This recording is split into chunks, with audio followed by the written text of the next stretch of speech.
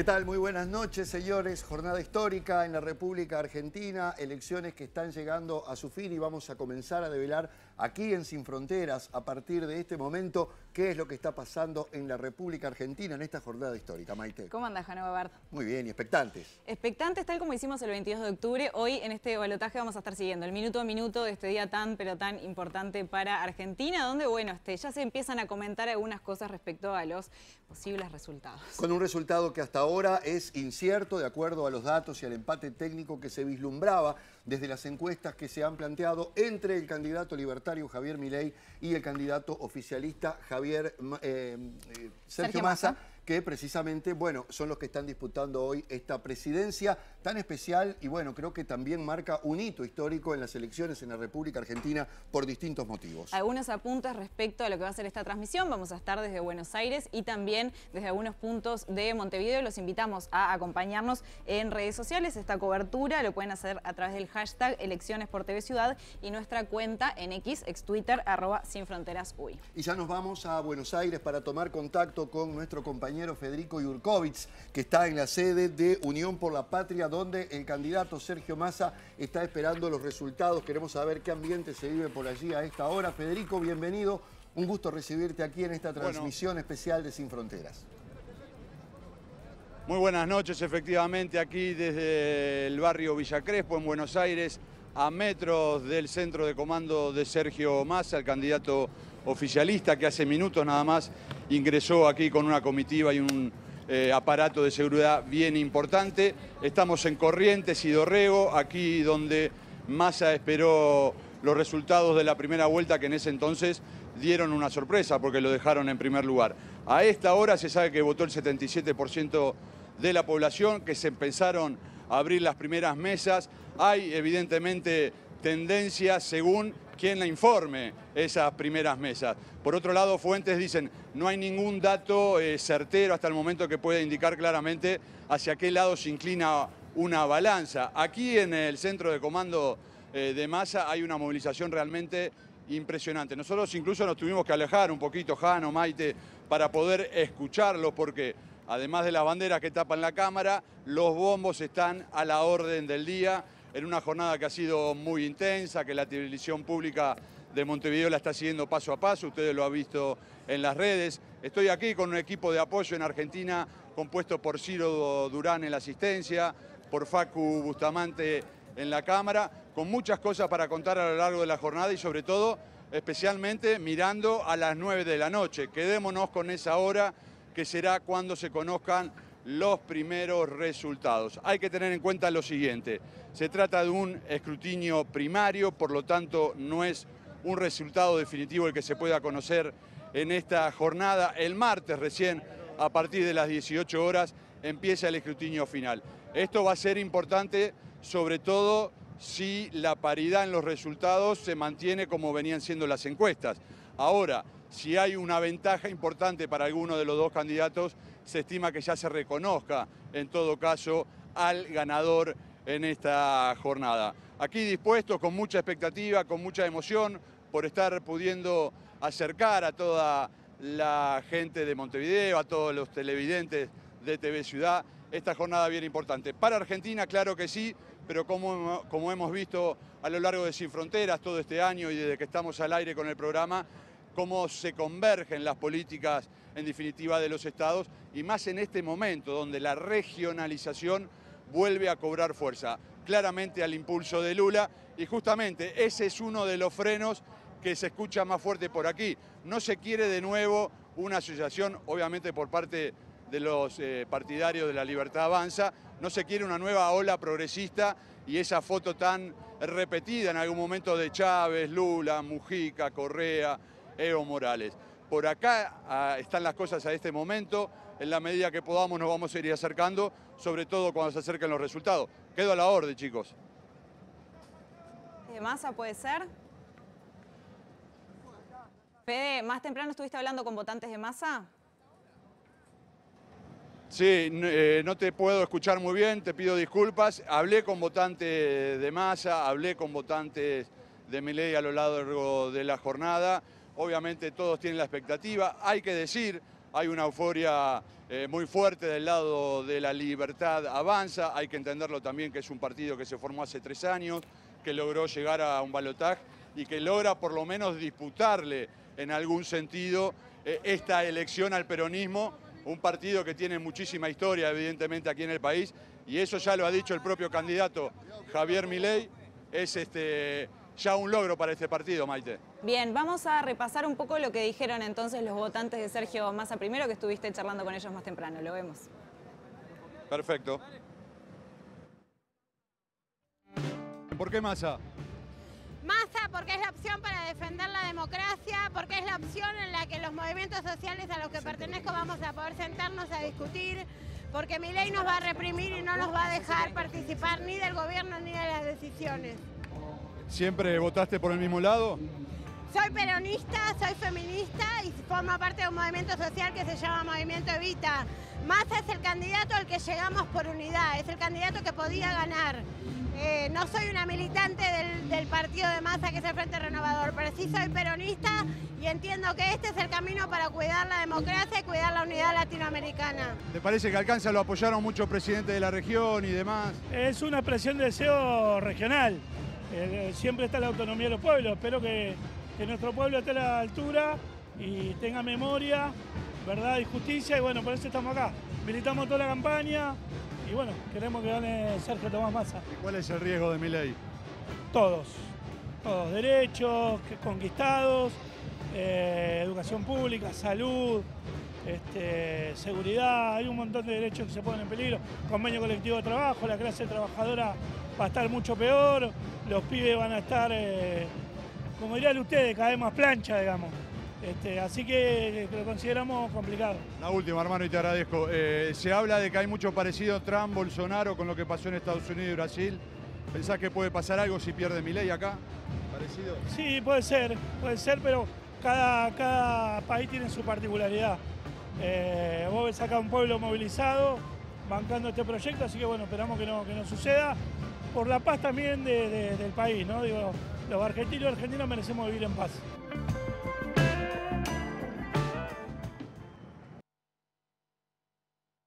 Las opiniones de los militantes de Sergio Massa hace minutitos nada más, cuando llegamos al centro de comando y lo veíamos también entrar al candidato más temprano, como les contaba, se nota más euforia, por lo que les decía, en los votantes de Miley. Eran menos que los que hay acá, entre ellos había muchos extranjeros que explicaban que no votaban, pero que igual apoyan las ideas de la libertad, así se definen como idea fuerte, y esto era lo que nos decían.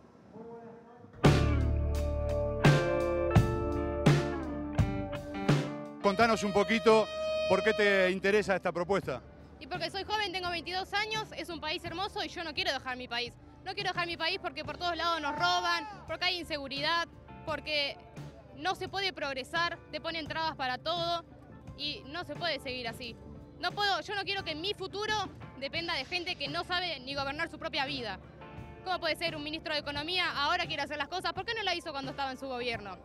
Es simple, cuando la tiranía es ley, la revolución es orden. Sí, bueno, somos una, familia que en realidad hace años que, apoyamos las propuestas de mi ley, que las conocemos bien, vemos que ha habido una campaña muy negativa en cuanto a las propuestas, ya la gente no, no sabe bien ni cuáles son las propuestas de tanto que la, han confundido. Eh, a la gente con, toda una campaña del miedo, pero nosotros que hace mucho que, le prestamos atención a las propuestas creemos que es lo mejor para Argentina. Nada puede salir mal en una crisis en la que justamente económicamente y la seguridad es lo que más nos aqueja y bueno, estaríamos poniendo a los más indicados para la solución, digamos, ¿no? Un economista de la talla de Javier Milei y alguien como Victoria Villarroel encargada de la parte de seguridad. Bien, vamos rápidamente a Argentina porque está hablando Sergio Massa en vivo en este momento, se está dirigiendo a los argentinos, lo vemos y lo escuchamos. Y el valor del respeto por el que piensa distinto se instalen para siempre en la Argentina. Quiero agradecerle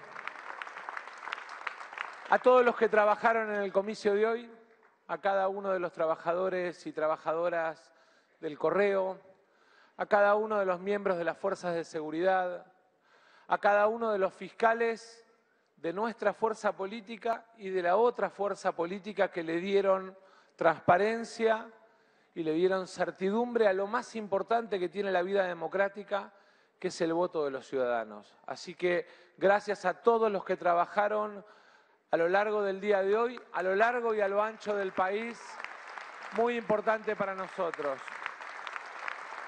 Pero también quiero, pero también quiero agradecerle a todos aquellos que en esta discusión de dos propuestas de país que se ponían en juego, no solamente desde gremios, desde organizaciones sociales, desde organizaciones de la sociedad civil, sino también desde esa conmovedora micromilitancia en el subte, en las reuniones casa por casa,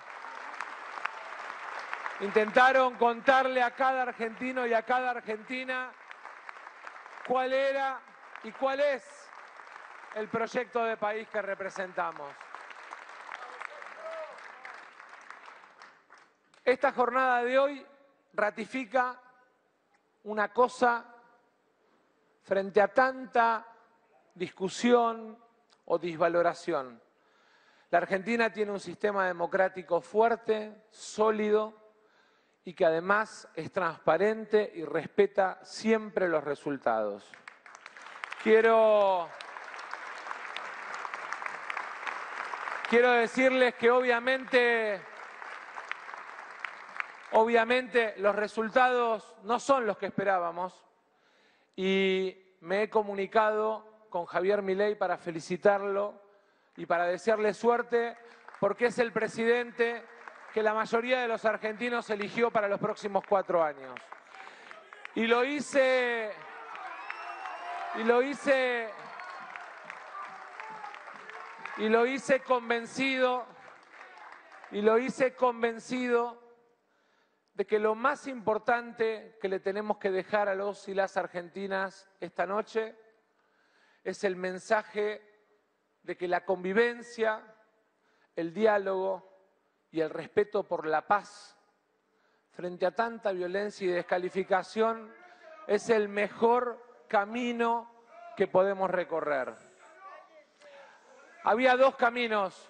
Claramente nosotros elegimos el camino de la defensa del sistema de seguridad en manos del Estado. Elegimos promover y defender a lo largo de la campaña el camino de la defensa de la educación pública y de la salud pública como valores centrales. Elegimos, elegimos defender a la industria nacional, al trabajo argentino, a nuestras pymes, a los trabajadores con derechos, porque sentimos que es la mejor forma de construir prosperidad movilidad social ascendente, pero sobre todas las cosas, que es la mejor forma de construir progreso para nuestra nación. Los argentinos eligieron otro camino y desde mañana la responsabilidad, la tarea de dar certezas, de transmitirle garantías sobre el funcionamiento político, social y económico de la Argentina es responsabilidad del nuevo presidente, del presidente electo, y esperamos que así lo haga. Le hemos además planteado al presidente electo y al presidente de la Nación la responsabilidad de mañana mismo poner en marcha mecanismos de enlace y transición de recambio democrático para que los argentinos en los próximos 19 días no tengan ni dudas ni incertidumbres respecto del normal funcionamiento económico, social, político e institucional.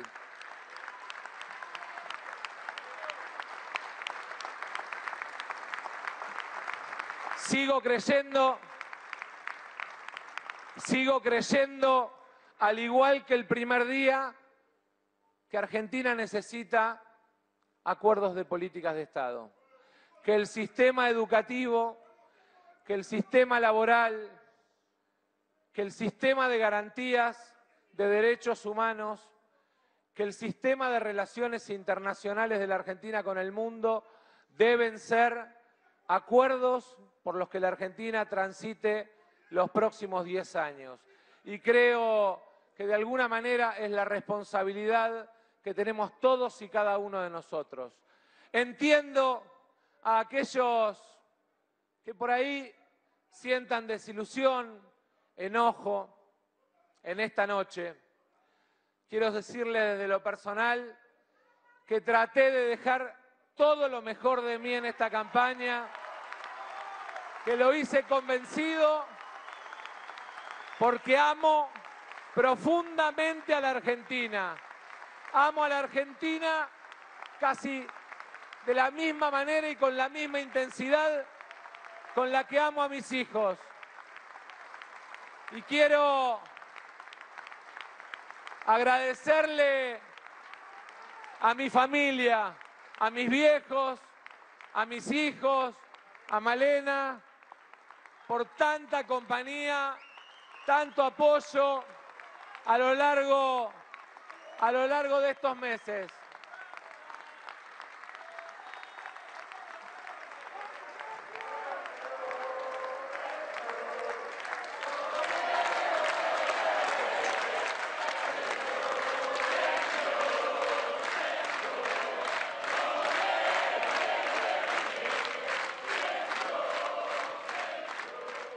Quiero, por último, contarles desde lo personal. Gracias. Quiero contarles desde lo personal que hoy termino una etapa en mi vida política y que seguramente la vida me depare otras tareas y otras responsabilidades. Pero sepan que siempre van a contar conmigo defendiendo los valores del trabajo, la educación pública, la industria nacional, el federalismo, como valores centrales de la Argentina.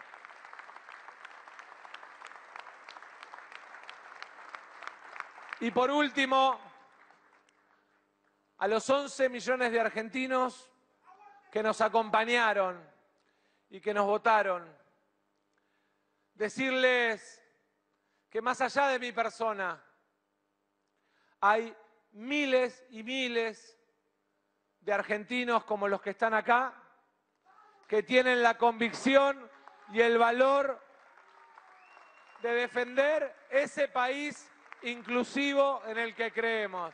Por eso, que vengan las nuevas generaciones sigamos haciendo el recambio transicional y democrático que necesitamos, que miles y miles de jóvenes de la Argentina sigan enamorándose de la idea de que este es un gran país y que entre todos lo podemos hacer un país de progreso, de desarrollo inclusivo y con igualdad de oportunidades. Gracias compañeros, gracias compañeras. Gracias a los 11 millones que confiaron en nosotros. Sigamos defendiendo el sueño de la Argentina justa. Muchas gracias.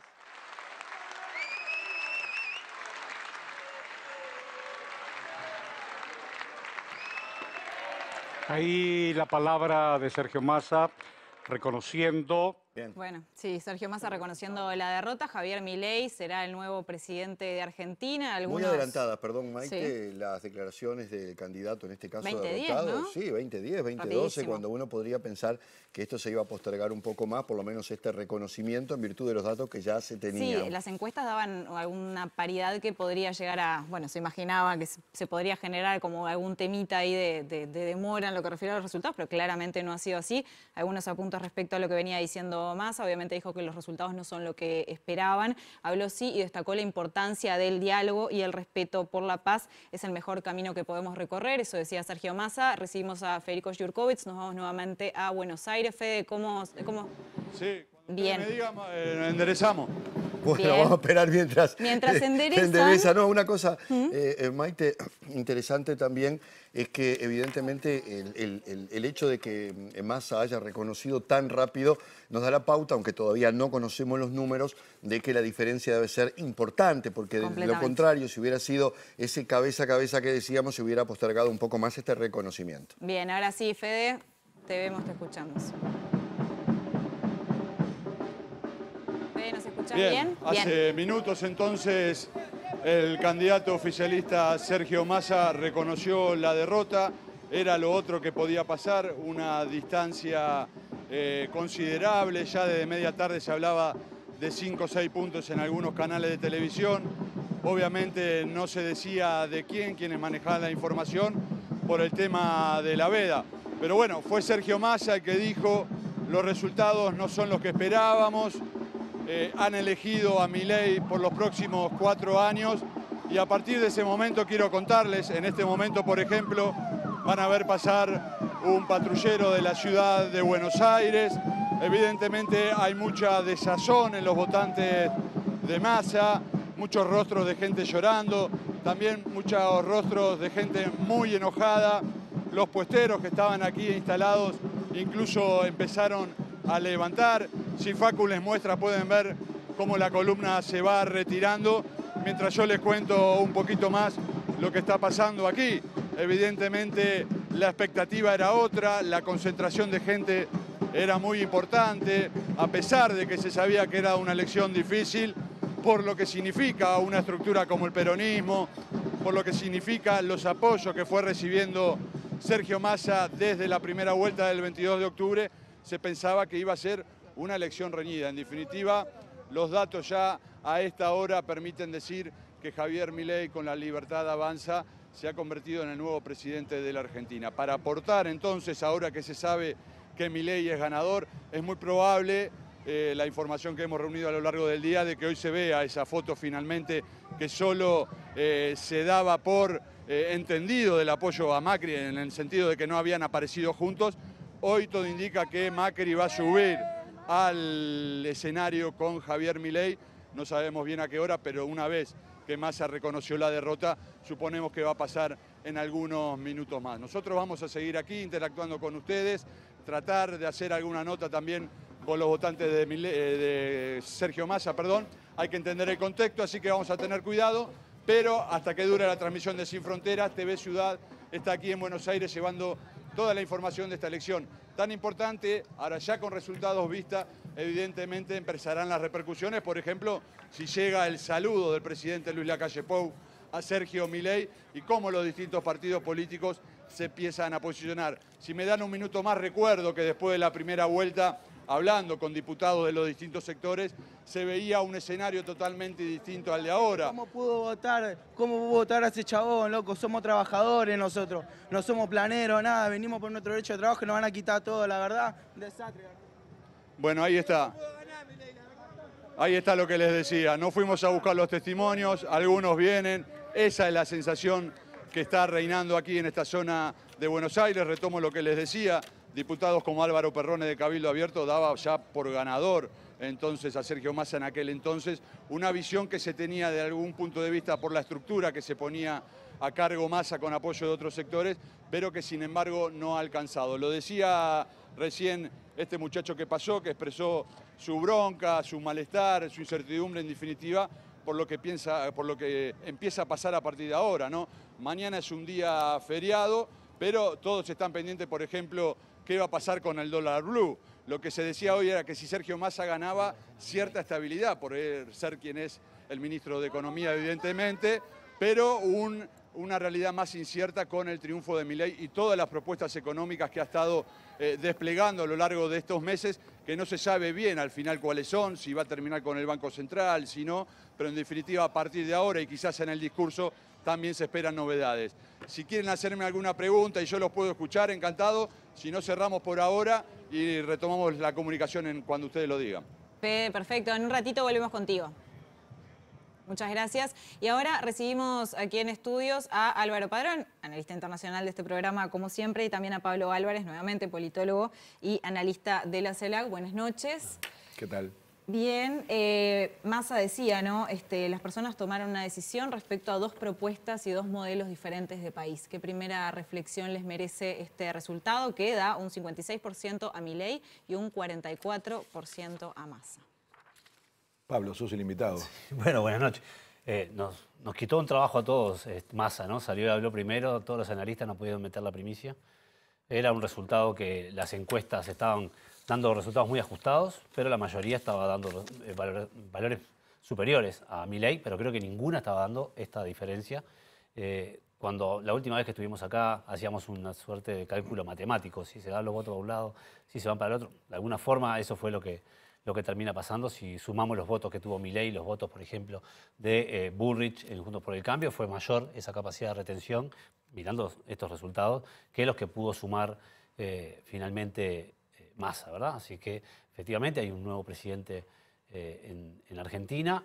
Son dos modelos eh, efectivamente dos modelos eh, políticos y económicos diferentes. Vamos a poder analizarlos más en mayor profundidad. Hicimos nosotros un estudio de CELAC de cómo se parecía el programa económico, por ejemplo, de Milei con respecto a otros programas y tenía casi un 70% de similitud con lo que había sido el programa de Macri, con lo que había sido el programa de Martínez de Oz. ¿No? O sea, la dictadura. No, no había mucha novedad. Alguien que se presentaba como un libertario tenía un programa neoliberal.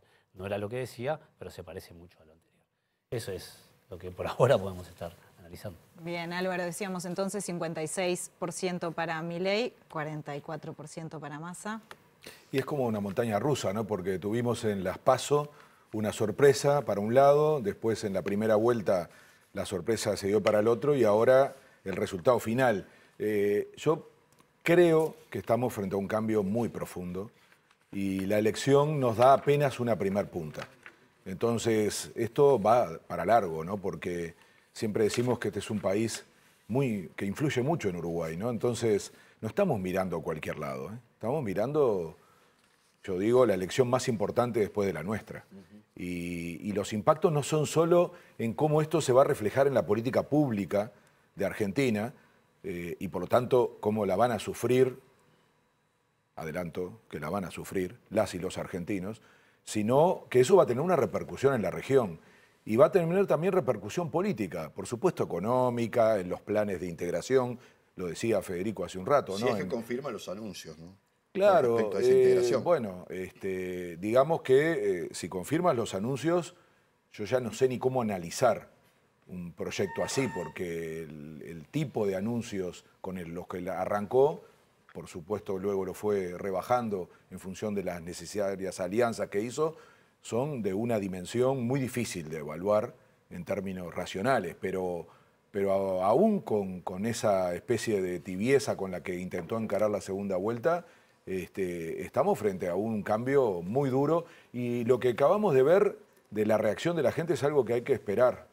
Este, ¿Qué va a pasar? ¿no? Porque va a haber eh, mucha tensión en Argentina. Va a haber mucha tensión. Yo creo que los elementos, sobre todo de, de movilización y de reacción popular, estaban contenidos por el propio proceso democrático y por la expectativa de, la elección misma. Entonces, eh, pensar que frente a la frustración lo que se viene es un ajuste y ese ajuste va a tocar a los sectores populares, esto no es una interpretación mía, es lo que ha relatado el propio candidato que ahora va a ser presidente, ¿no? Nos va a llevar a un escenario peligroso. Y, también, si ustedes observan, eh, y me pasó durante todo el día cuando escuchaba en otros medios las entrevistas a la gente en la calle, era impresionante cómo se repetía sistemáticamente en la boca de quienes votaban a Massa la preocupación sobre la democracia. Casi por unanimidad empezaban diciendo yo voto a Massa porque quiero defender la democracia. Hay bastante espejo con Brasil, ¿no? Es y eso es lo otro tremendo, ¿no? Es como que no hubiéramos visto ya esta película. Y esta película tuvo su representación en Estados Unidos y puso en riesgo la democracia, entre otras cosas con esa imagen insólita que nunca nos imaginábamos de ver un asalto al Capitolio, o sea, violencia. La vimos luego en Brasil, que además fue una copia, porque reconocen incluso muchos de los que estuvieron detrás de esa movida que se inspiraron en eso y que tuvieron además una conexión. Y yo no puedo dejar de preocuparme de haber visto a estos personajes que estuvieron en Estados Unidos, que estuvieron en Brasil, hace poco reunidos en Argentina para apoyar a Milei. Entonces, hay un problema con la democracia. Ya veremos entonces también cuáles fueron los factores determinantes desde el punto de vista electoral. Se dice por allí que hubo un voto muy importante para ley en provincias como Córdoba, Mendoza, en la propia ciudad de Buenos Aires. Pero para conocer un poquito más de lo que está pasando con los resultados oficiales, nos vamos a poner en contacto con la periodista María Laura Morales, que está en el Correo Argentino, que es el organismo de la coordinación y planificación de la logística electoral. Y al igual que el 22 de octubre, María Laura está allí para informarnos de cómo se está viviendo y qué está pasando pasando en este momento. María Laura, bienvenida, buenas noches. Buenas noches. ¿Qué tal? ¿Cómo están todos ustedes? Eh, muy buenas noches. Bueno, recibiendo este resultado. Vamos a, ver, María Laura, si tenemos un poquito más de suerte, ahora nos estás escuchando. Eh, ¿Qué está pasando? Yo estoy escuchando muy bien. Bárbaro. Bueno, eso te preguntábamos, María Laura, ¿cómo se está viviendo? ¿Qué está pasando en el correo allí donde se coordina todo? Sí, bueno, aquí en el correo ya están los datos oficiales, eh, prácticamente casi un 56% a favor de Javier Milei de la Libertad Avanza y un 44, y algo por ciento, 08 eh, Sergio Massa de Unión por la Patria. Bueno, y también importante la cantidad de votos en blanco, ¿no? 1,08 eh, daba la pizarra recién y recordemos que el domingo 22 de octubre fue casi del 3% los votantes en blanco, con lo cual, bueno, eh, un poco ese número cambió, también era lo que se esperaba, pero eh, bueno, lo que sucedió en las provincias también es un dato importante, si bien ya se sabía, porque son los territorios donde mayormente eh, gana Juntos por el Cambio, con lo cual se sabía que iban a apoyar a Javier Milei, estamos hablando de Santa Fe, Córdoba, Mendoza, eh, Ciudad de Buenos Aires,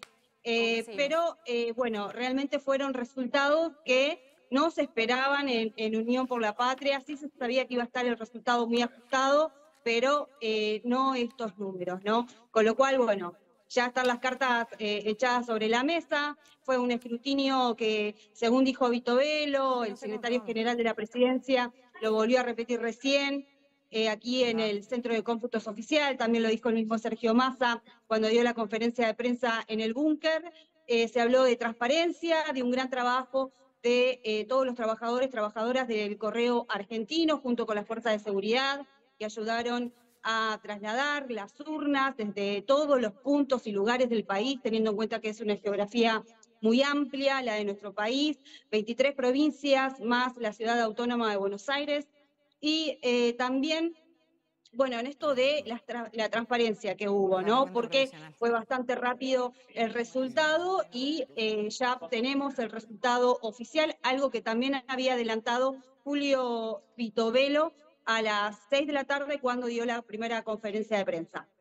Bien, María Laura, eh, Estaremos atentos entonces a otras novedades que surjan a medida que pasen los minutos. Seguramente va a haber también otros elementos como para evaluar, como tú decías, el comportamiento de los votos blancos y nulos, que seguramente van a dar alguna pauta también, y conocer un poquito qué provincias tuvieron una incidencia importante en este resultado, porque por lo que uno podía escuchar más temprano, en esas provincias que yo mencionaba particularmente, que son muy fuertes a nivel electoral, Santa Fe también, quiere decir que allí hubo una diferencia que seguramente no se esperaba desde el oficialismo. Así que estaremos tomando contacto nuevamente contigo en cualquier momento. ¿eh?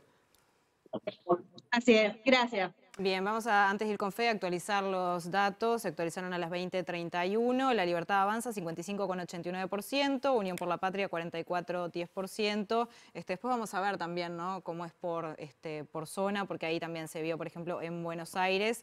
Eh, Sergio Massa tuvo un 50,86%, mientras Javier Milei tuvo un 49,13%. Estamos viendo los gráficos. Ahí estamos perfectos, estamos viendo los gráficos. Entonces está, digo, hay diferentes, diferentes datos que se van conociendo. Después, bien, estamos con Fede. A ver, Fede, te recibimos, te escuchamos. ¿Cómo está todo por ahí? Marcame. Ahí está Federico Yurkovich. seguimos aquí. Adelante. Seguimos aquí en, en la zona de Villa Crespo, donde el centro de comando de Sergio Massa se acaba de dar la noticia. Mucha gente se está retirando ya.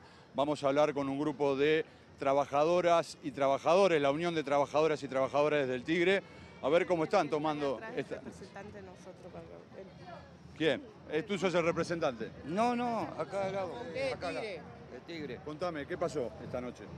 Nada, hay que seguir luchándola como hicimos siempre. Hay que Hay que salir a la calle, vamos a tener que combatir como siempre, como lo hicimos siempre, porque el movimiento fue el que siempre movilizó, esté el gobierno que esté. No tenemos miedo, estamos preparados para esto y yo te digo la verdad, vamos a tener guerra, porque la vamos a tener, se la vamos a dar a la guerra, porque estamos preparados para eso.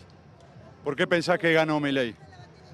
¿Por qué pensás que ganó Milei vos? No sé, porque mucha gente lo habrá votado, pero mucha gente está equivocada. No sabe lo que se va a venir ahora. Pero bueno, como dijo mi compañero, hay que seguir luchando mucho más que antes. Y viva Movimiento Vita. ¿Qué es lo que más te preocupa? Y lo que me preocupa es la alimentación, la salud pública. Yo tengo, como tengo mellizo, me, me preocupa más por ello nomás, por lo que no sabemos lo que va a pasar. Hoy vendemos 500 pesos, vamos a tener que vender a un dólar, supuestamente, a dos dólares. Así que está todo complicado. ¿Se viene otro país ahora? Mirá, se viene otro país, pero esto no nos va a sacar nadie. Nadie nos va a sacar esto. Me interesa la voz de una mujer. ¿Cómo estás viviendo vos esta jornada? Y un poco triste, pero vamos a pelear por nuestros derechos, por nuestros derechos de nuestros hijos, de nuestros abuelos, que la salud pública, el, el colegio público de los chicos tiene que ser público, no va a ser privado porque no le vamos a permitir a este gobierno que nos arruine la salud pública y, y todo de los niños. No le vamos a permitir que nos toque nada de lo que no tenemos derechos nosotras. Se habló mucho de justamente los derechos laborales, el aguinaldo, el salario vacacional, la protección social, la jubilación. Sí, no la vamos a permitir, no la vamos a permitir, vamos a pelear por nuestro derecho. Si tenemos que salir a la calle, vamos a salir, pero vamos a pelear por el derecho de nuestros hijos, de nuestros abuelos. Bien, hasta aquí entonces algunas de las opiniones, las primeras que podemos ir recogiendo, Maite, Tejano, toda la gente que está trabajando allí en el piso de Sin Fronteras. Dejamos por ahora, vamos a tratar de recabar unos testimonios más, pero ustedes entenderán, hoy la noticia se ha corrido de escenario. Estaremos obviamente eh, trasladándonos hasta el centro de campaña de Javier Milei, donde estuvimos más temprano, allí en la zona del microcentro porteño, y seguramente también en el obelisco, zona de festejos importantes en Argentina siempre. Gracias, Fede. Estaremos atentos entonces. Obviamente que estaba previsto que esto pudiera modificarse sustancialmente y alterar siempre el orden que uno tiene en este tipo de, eventos, ¿no? Y conocemos, empezamos a conocer, eh, Álvaro y Pablo, algunos algunas cifras y algunos porcentajes que tiene Maite ahí verdaderamente Sí, algunas, sorprendentes, algunas ¿no? provincias donde realmente Milei arrasó. Por ejemplo, es el caso de Córdoba, donde Milei obtuvo un 74,27% de los votos contra Massa un 25,72%. En Cava, por ejemplo, Milei obtuvo un 57,3%, Massa un 42,7%. En Mendoza, Milei alcanzó el 71,4%, Massa un 28,6%. Y un apunte, los votos en blanco fueron el 1,55% en el día de hoy. Bueno, creo que muchísimas cosas. La primera es cómo se analizan las campañas electorales, porque aquí tuvimos unas paso, una primera vuelta donde fue un giro importante y sorpresivo para, muchos de la recuperación que tuvo, por ejemplo, eh, Massa. Al otro día, esa semana, primera semana después de la, de la primera vuelta, parecía que Milei se iba, que lo sacaban, que renunciaba. Parecía casi que al punto de que se sucedía lo mismo que había sucedido en 2003 con Kirchner, donde había un abandono. Se desarmaba todo. Se desarmaba todo, ¿no? Este, sin embargo, eso no pasó. Siguió la, la carrera. Vino el debate, ¿no? Un debate muy profesional. Todo- mucha gente le prestó muchísima atención porque hubo mucho profesionalismo, por ejemplo, del lado de Massa. Todo el mundo decía, Massa lo arrinconó, lo puso contra Sí, la cuerda. ¿no? Milei no pudo responder. Sin embargo, el impacto del debate no tuvo efecto electoral. Ahora lo sabemos, ¿no? Si no supiéramos el, el resultado, diríamos, todo parecería indicar que el debate no tuvo, no tuvo mayor impacto. Hoy vemos el, resultado, entonces, efectivamente, nada de lo que parecía que iba a suceder la primera semana pasó. El impacto del debate, al menos no alcanzó para una victoria. Entonces, esto nos lleva a pensar que no podemos eh, intentar interpretar un resultado electoral exclusivamente analizando una campaña. Entonces acá hay cosas que son mucho más profundas y que vuelve la teoría política, vuelve los análisis mucho más vinculados a la realidad. Que la figura de Milei superó todo eso No, incluso, y, ¿no? y habíamos dicho, muchos, o se decía, desapareció la teoría del voto económico, ¿no? que para los politólogos es una como teoría muy fuerte, alguien que le vaya mal en economía es muy difícil que pueda ganar. Volvió a suceder de que se recuperó, se, se, ¿no? se levantó de- dentro de, de sus propias este, dificultades esa teoría y retomó un- un- por lo menos un margen de realidad. Eso me parece que es importante. en- Déjame en que este te agrego en esto un elemento que yo creo que tuvo que ver con la campaña y consolida esta, de alguna manera, retomada de la interpretación más clásica. de la política, ¿no? Es el, ¿se acuerdan el conflicto con la nafta? Es decir, eh, ese tipo de materialidad en la vida cotidiana, ¿no? Incluso la gente que estaba en la campaña de masa decía que le había afectado muchísimo en ese momento en las mediciones y estábamos hablando en el mejor momento porque fue al final de la, cuando están los resultados de la primera vuelta, toda esa semana que Pablo relataba con, los traspiés de, de Milei, antes de que se consolidara incluso la alianza de Burlich y de Macri, eh, eso que duró casi una semana fue un factor clave. Y lo digo porque vuelve a aparecer el aspecto económico, ¿no? pero no solo el aspecto económico en la, en la vida de la gente, en términos de precios y demás, sino actores económicos que influyen en campañas, que toman decisiones y que generan hechos que luego penetran en la gente y terminan generando una reacción que yo diría, vuelvo a pensar en lo que nos pasó hace un tiempo cuando interpretábamos como no sorpresa lo de mi ley, porque decíamos, es muy difícil imaginar que un ministro de Economía de un gobierno en donde hay tantos problemas pueda terminar siendo exitoso en una campaña, sobre todo cuando habíamos visto el desplazamiento de la vía de centro derecha, ¿no? cuando pierde en primera vuelta Patricia Bullrich. Álvaro, para comentar, recién eh, tuiteó Ignacio Lula da Silva respecto a lo que es la victoria de Javier Milei. Eh, escribió, la democracia es la voz del pueblo y siempre debe ser respetada. Mis felicitaciones a las instituciones argentinas por conducir el proceso electoral y al pueblo argentino que participó de la jornada electoral de manera ordenada y pacífica.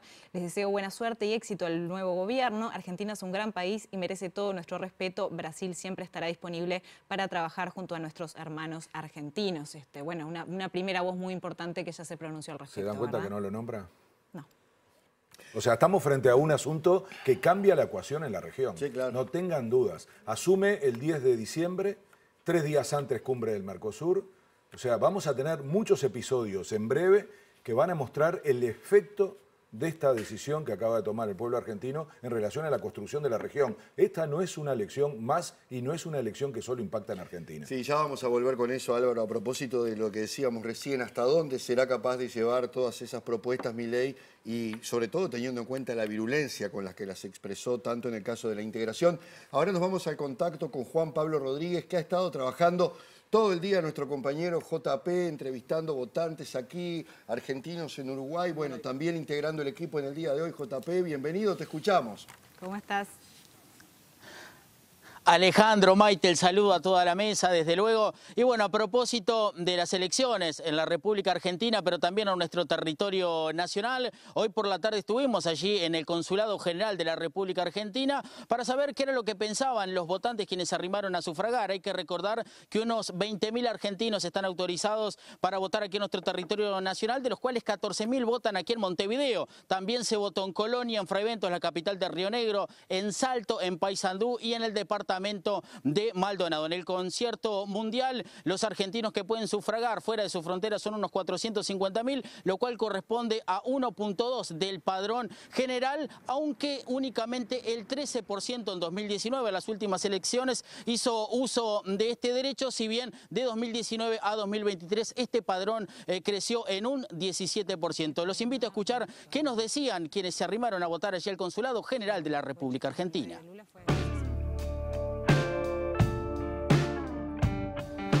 Es difícil el estar en este tiempo de elecciones, sobre todo porque como joven eh, se pone en juego la democracia, se pone en juego un montón de derechos que adquirimos, en el cual las minorías a veces nos movilizan y sentimos que hay cosas que están en riesgo, que costó la vida de muchas personas, de muchos movimientos sociales y que no nos puede dar lo mismo votar o no.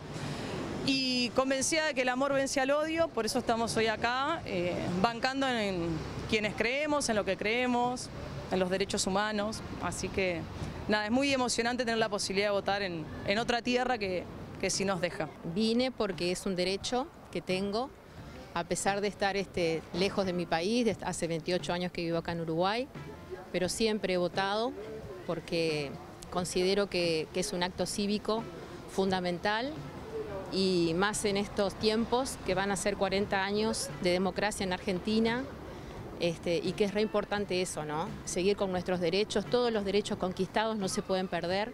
Con el voto ya decidido, eh, por eso que te decía, acá se ponen en juego los derechos, todos los derechos adquiridos. Es una elección crucial esta, se juega mucho más, se juegan dos modelos de país, que son totalmente contradictorios y uno es eh, maléfico. Es así de simple. Y no sabemos dónde puede terminar todo lo conquistado. Con la obligación cívica de votar y este, la verdad que es muy, es muy, muy bueno poder hacerlo, por lo menos para poder sentirse parte después si las, de las cosas que suceden. Tengo mucho nervio, la verdad, mucho nervio. ¿Sí? ¿Por qué tanta ansiedad? Yo qué sé, no sé. Es una mezcla entre el cambio, no el cambio, entre lo que es bueno, lo que es malo, lo que, no sé. Nervioso por la gente que vive allá, mis familiares, y bueno, por mí también, ¿no? Bien, y allí escuchábamos los argentinos que estaban allí en el consulado general eh, votando, sufragando, pero también opinando acerca de lo que sucedía. Los números que ya se manejan a esta hora es que más de 1.800 son los argentinos que llegaron a sufragar aquí en Montevideo en el consulado general, sin contar claramente aquellos argentinos que concurrieron allí con la intención de justificar su no voto en la República Argentina por encontrarse a más de 200 kilómetros de su lugar de residencia. Volvemos con ustedes a estudio, siempre aguardando por más novedades desde aquí. Gracias, JP. Y bueno, este, se notaba como algunos este, los votantes mencionaban la cuestión de la incertidumbre, ¿no? Eh, hablábamos de lo económico, pero ¿qué otros factores también eh, consideran ustedes que pesaron para que eh, Argentina llegue a este resultado y a esta elección de una persona tan particular en el sentido de que lo repasábamos en el programa anterior de Sin Fronteras, es una persona que dice que habla con perros muertos, que es el Mesías, digo, tiene características muy particulares, ¿no? Para, para ser el próximo presidente. Sí, Así como estábamos hablando recién del voto económico, fue en el marco de una crisis importante de Argentina en materia económica, eh, bueno, parece expresarse ese, malestar. También hay un voto que es emocional y que tiene que ver con los sentimientos, ¿no? Y esto también es lo que se viene analizando eh, últimamente y la importancia que tiene. Y, para mí se ata con lo que decíamos antes. En un debate donde alguien puso razonamiento, ¿no? Eh, propuestas y desde el otro lado no había nada de eso. Lo que había ya era una emoción que estaba instalada. Es decir, bueno, acá lo que hay es un enojo, eh, bueno, lo que se hablaba, bronca, miedo, diferentes emociones, diferentes sentimientos que tenían que ver con una posición contraria a lo que había. Yo, hay quienes hablan de aquello de la rebeldía se volvió derecha, el enojo, si la rebeldía se volvió derecha, entonces el statu quo se volvió qué. ¿No? Entonces, ¿cuál es la contradicción que está planteada ahí arriba? Hoy, este, al inicio, ustedes eh, planteaban también a alguien que decía este, bueno, es que si había un caos este, y había desigualdad, hay que restaurar esto. Bueno, ese malestar se, planteó, yo creo que en esta elección. Entonces, una posición muy anti-peronista, sin duda, muy anti-peronista y sobre todo anti-kirchnerista, pero anti-peronista, eh, y una posición que eh, fue independiente a este personaje. ¿no? Y bueno, si hay un, un 30% de la población estuvo dispuesto a votarlo a él a secas. Ahora estuvo un casi 26% eh, más de la población estuvo dispuesto a votarlo a él para que no gane efectivamente más. Entonces, hay un conjunto de emociones y sentimientos muy profundos en la sociedad argentina que jugaron fuertemente más allá de esto que hablábamos. O sea, se habla dos cosas, ¿no? Lo material, concreto, tangible, la situación económica del día a día de la gente, y luego una situación este, que tiene que ver con el entramado más emocional de, Argentina. Ahora, Álvaro, hablando de los jóvenes que tuvieron una incidencia importante por lo que uno puede ver en el triunfo de Milei, creo que ya entramos, ya lo habíamos visto durante el gobierno de Trump, de Bolsonaro, lo vemos en el mundo, eh, en un discurso que ya no pasa tanto por lo tradicional, sino donde las redes sociales, todo ese tipo de ámbitos pasan a tener un rol protagónico. Y creo que en el caso de Milei vuelve a quedar patente todo esto. Es decir, un tipo sin una estructura político-partidaria, que ahora tal vez se la dé un poco Macri, por decirlo de alguna manera, y Bullrich, este, pero no la tenía y sin embargo puede doblegar todo eso que decía Pablo, ¿no? Un discurso estructurado dentro de lo tradicional. No, no tengo duda, porque yo creo que yo dije una vez Argentina adelanta, ¿no? En relación a América Latina. Es como el país que conecta más con ese mundo desarrollado en varios aspectos y mucho de lo que estamos analizando acá ya está ocurriendo en otros lados. Esta conexión entre malestar económico, la sensación de retroceso en términos económicos, pasa en el mundo desarrollado, en el norte, pasó en Estados Unidos, pasó en Francia, pasó de alguna manera en España y ahí se detiene por una discusión más sobre el nacionalismo, pero estamos frente a un fenómeno que combina el malestar económico con un malestar social y con esas transformaciones que tú dijiste, Jano, con, con el hecho de una potenciación del individualismo, el manejo de las redes, la forma en que se hace política desde las redes. Este es un triunfo de la grieta, ¿eh? no tengan duda. Aquí hubo claramente una consolidación de la idea de votar en contra, más que votar a favor lejísimos de cualquier lógica como la que estamos acostumbrados de discutir con argumentos, de usar a los medios como medios y por lo tanto que discutan y argumenten con la sociedad, no importa. Recuerden a Bolsonaro comunicándose directamente con la sociedad. Eh, lo mismo hace Trump y vamos a esta lógica con un Milley que hasta hace unos días hablaba de fraude, ¿se acuerdan? Para seguir conectando con esta forma de hacer política, anunciar un fraude. Ya de alguna manera decir, la democracia me sirve mientras me conviene, pero si no, no me sirve. Entonces, eh, bueno, ganó. Eh, ganó porque además esta es una sociedad muy cansada. Es una sociedad que viene de 10 años de una alternancia con dos golpes muy duros. Yo por eso digo que en este caso hay una base material, además de las emociones, que ya le daba mucha ventaja. Ahora, si yo tengo que poner un título hoy de noche, yo diría, se viene la incertidumbre, pero no la incertidumbre eh, electoral, porque lo que va a haber es una gran inestabilidad en Argentina. Bueno, hay que ver qué pasa a nivel económico, ¿no? Me imagino que este resultado va, a generar algún Claro, cimbronazo. Pero, pero mirá, Maite, lo que rescataba, porque siempre tenemos esta idea de que en primera vuelta y segunda vuelta observamos los votos y no nos acordamos que el Parlamento, el Congreso para los argentinos, se constituyó en la primera vuelta. Y ahí hay un gran lío, ¿eh? porque 107 votos para el peronismo, 94 para Juntos por el Cambio, 38 para Milei, 18 para el resto. Esto significa una ecuación de poder y recordemos que además esto se discutió mucho cuando se veía el posicionamiento de Cristina Fernández, de cómo había pensado las alianzas, por qué había terminado Massa como candidato y no alguien más cercano, en fin, hay toda una discusión ahora de la ecuación de poder en varios aspectos de la Argentina que no son solo la presidencia. Y vamos a ver qué gobierno se conforma, quién se hace cargo de este gobierno, Macri. Ahora lo vamos a ver seguramente en el momento del triunfo, en la que va a ser el acto, porque ¿qué papel van a ocupar los que tienen experiencia en gobernar? Los que tienen relación con el poder real de un país, por ejemplo, el poder económico. ¿Y quién se hace cargo de la derrota? ¿Qué va a pasar con Cristina Fernández? ¿Qué va a pasar con Kisilov, que tiene una responsabilidad enorme al haber sido triunfador de un lugar clave? Eh, ¿Quiénes van a seguir con nuevos liderazgos? Porque está claro que desapareció Alberto Fernández, está claro que de- desapareció Rodríguez Larreta, es como que desapareció el medio. Y acá viene otro asunto que nos conecta con el mundo desarrollado donde está habiendo éxito de la ultraderecha, que es la desaparición de la centroderecha. Porque Milei se llevó puesto a Juntos por el Cambio, es decir, a un partido entero, que va a ser muy difícil que se recomponga. El poder en general vuelve a unir las partes, ¿no? Pero va a ser muy difícil que se recomponga el partido ese como tal. Por eso es muy delicado lo que pase ahora en, el comportamiento de Macri, por ejemplo, que hasta ahora parece que no le importa demasiado. Es distinto en el caso del resto de los líderes que tienen más conexión con lo territorial. Pero, ¿qué tipo de gobierno se va a armar? Porque esto es una novedad absoluta. Acá no está detrás de Trump el Partido Republicano que le daba ese sustento, o en Brasil el poder militar y una lógica que se acuerdan, ¿no? La idea de las tres patas, el, el- el campo, eh, de alguna manera también la bala por lo militar y el- el, eh, la lógica de, eh, digamos, la Biblia por la base religiosa. Aquí hay una confusión enorme, hasta por el estilo del liderazgo de Milei, y yo creo que va a haber una enorme inestabilidad, incertidumbre, y en pocas horas vamos a empezar a ver respuestas a estos asuntos que incluyen nuestro centro en el programa, ¿no? ¿Qué hacer- política internacional va a tener este gobierno? Una pregunta a propósito de Macri, pero antes déjame darles unos detalles más electorales. El oficialismo, o sea, Massa ganó en la provincia de Buenos Aires, en Santiago del Estero y en Formosa. En todo el resto de la Argentina, 21 distritos más, eh, perdió. O sea que eso creo que también Se habla de- más a las pasos que a la primera. de la elocuencia. Eh, ¿Qué pasa con la figura de Macri? Porque un hombre que no tiene estructura política como Milei, o por lo menos desde el punto de vista tradicional, con propuestas que han sido disparatadas, sin un sustento que han tratado de arreglar algunos economistas y algunas personalidades un poco más, digamos, centradas desde ese punto de vista, el rol que va a tener Macri en este nuevo gobierno, en tanto expresidente, con una experiencia de gobierno, ¿ustedes creen que este resultado le va a dar un protagonismo especial a la figura de Macri? Central, yo creo que central.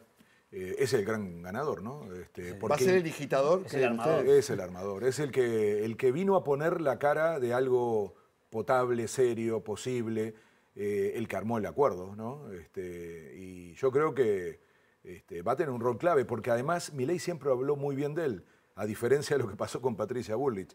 Eh, eh, llegó a decir, va a ser no mi canciller, más importante aún, va a ser el que pone a Argentina de vuelta en el mundo. Eh, es increíble, ¿no? Las comparaciones, porque esa misma frase se usó mucho al revés en el caso de Brasil, en el triunfo de Lula, con la idea de que este, Brasil había salido del mundo culpa de Bolsonaro. Yo no sé cómo puede decirse que va, a que va a poner en el mundo un gobierno que dice que no va a relacionarse ni con China ni con Brasil, cuando el 80% de las exportaciones argentinas tienen esos dos destinos. ¿no? Entonces, eh, pero todo empieza a tener este problema que hablábamos recién. Si, si el centro fue la emocionalidad y no las razones, los argumentos, las propuestas, lo que se viene ahora es preguntarse, bueno, pero ¿para dónde va a ir este gobierno? ¿Cómo aterriza esos titulares que decía que tenían más que ver con emociones, con bronca, con canalizar el cambio como el gran discurso? ¿Cómo lo va a llevar a una política pública? Ahí me parece que es eh, la clave de, Macri, pero Macri va a tener que ordenar también su juego interno, ¿no? Empezando por los intereses económicos que, que van a estar muy preocupados a partir de hoy de cómo se va a alinear una política para poder seguir trabajando y produciendo en Argentina. Recordemos lo que fue parte del mensaje que publicó Mauricio Macri respecto al apoyo a Milei, ¿no? que puso yo voto a Milei, dijo nosotros queríamos conducir el cambio que necesita la Argentina, pero no nos alcanzó. Estoy convencido de que Milei está del lado correcto, comprometido en hacer crecer a la Argentina y en erradicar las mafias, a los corruptos y a los vagos. Estamos del mismo lado de los que quieren que el país crezca con todo el potencial espectacular que tiene, etcétera, etcétera. En este momento, después de todo lo que hemos pasado juntos, creo que me puedo permitir pedirte que pienses que el voto en blanco no es una buena opción. Y bueno, continúa dándole este, su apoyo a Milei, dice, démonos una oportunidad de cambiar. Yo voto a Milei y si no querés abandonar la batalla y resignarte, también te pido que vos lo votes. ¿Cuánta casta puede soportar el gobierno de Milei? Esa es la pregunta, para que no se le vuelva en contra en última instancia. Acá tenemos una sociedad que se movilizó también por derecha. Lo que ha pasado, la novedad que hemos tenido con las derechas estas mundiales, las derechas neopatriotas, las derechas liberales, es que han sido derechas que han, que han ido, han jugado la carta de la movilización popular y no la han jugado solamente en los momentos críticos, como decía recién en, en, lo que fue la toma del Capitolio, lo que fue en Brasil, lo que vimos en España en estos momentos. Son eh, derechas que han salido a ocupar un espacio de la vida pública, pero sin partido, en general, ¿no? Hasta ahora. Pero con millones de votos. Pero con millones de votos, ¿no?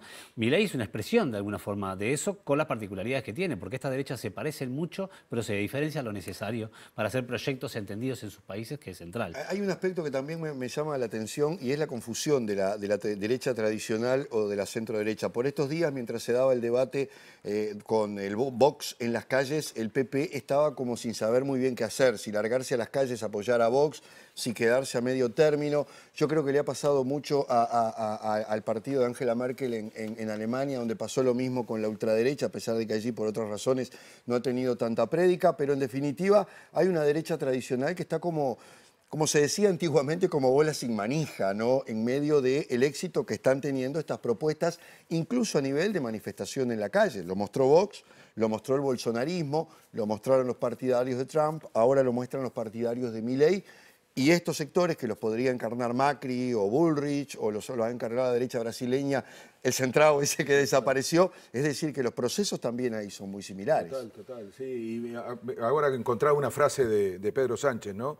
Él decía, incapaz de resistir el embate de la ultraderecha, sucumbe por flaqueza, por debilidad ideológica y por miedo. Se refería a los partidos de centro derecha democrática. Vuelvo a decir democrática, porque yo creo que empieza a verse que algunos de los sectores de ultraderecha utilizan la democracia, no es que sean democráticos, lo necesitan para un marco, primero necesitan a la centro derecha, para tener un poco más de, presentabilidad, digamos, en la sociedad, hasta que en un momento, y ese es el gran problema de la centro derecha y coincide con este análisis de Sánchez, se van corriendo para no perder votos, esa centro derecha, y en un momento pierden la identidad y la ultraderecha dice, voten al, original, no, no, no precisamos copia.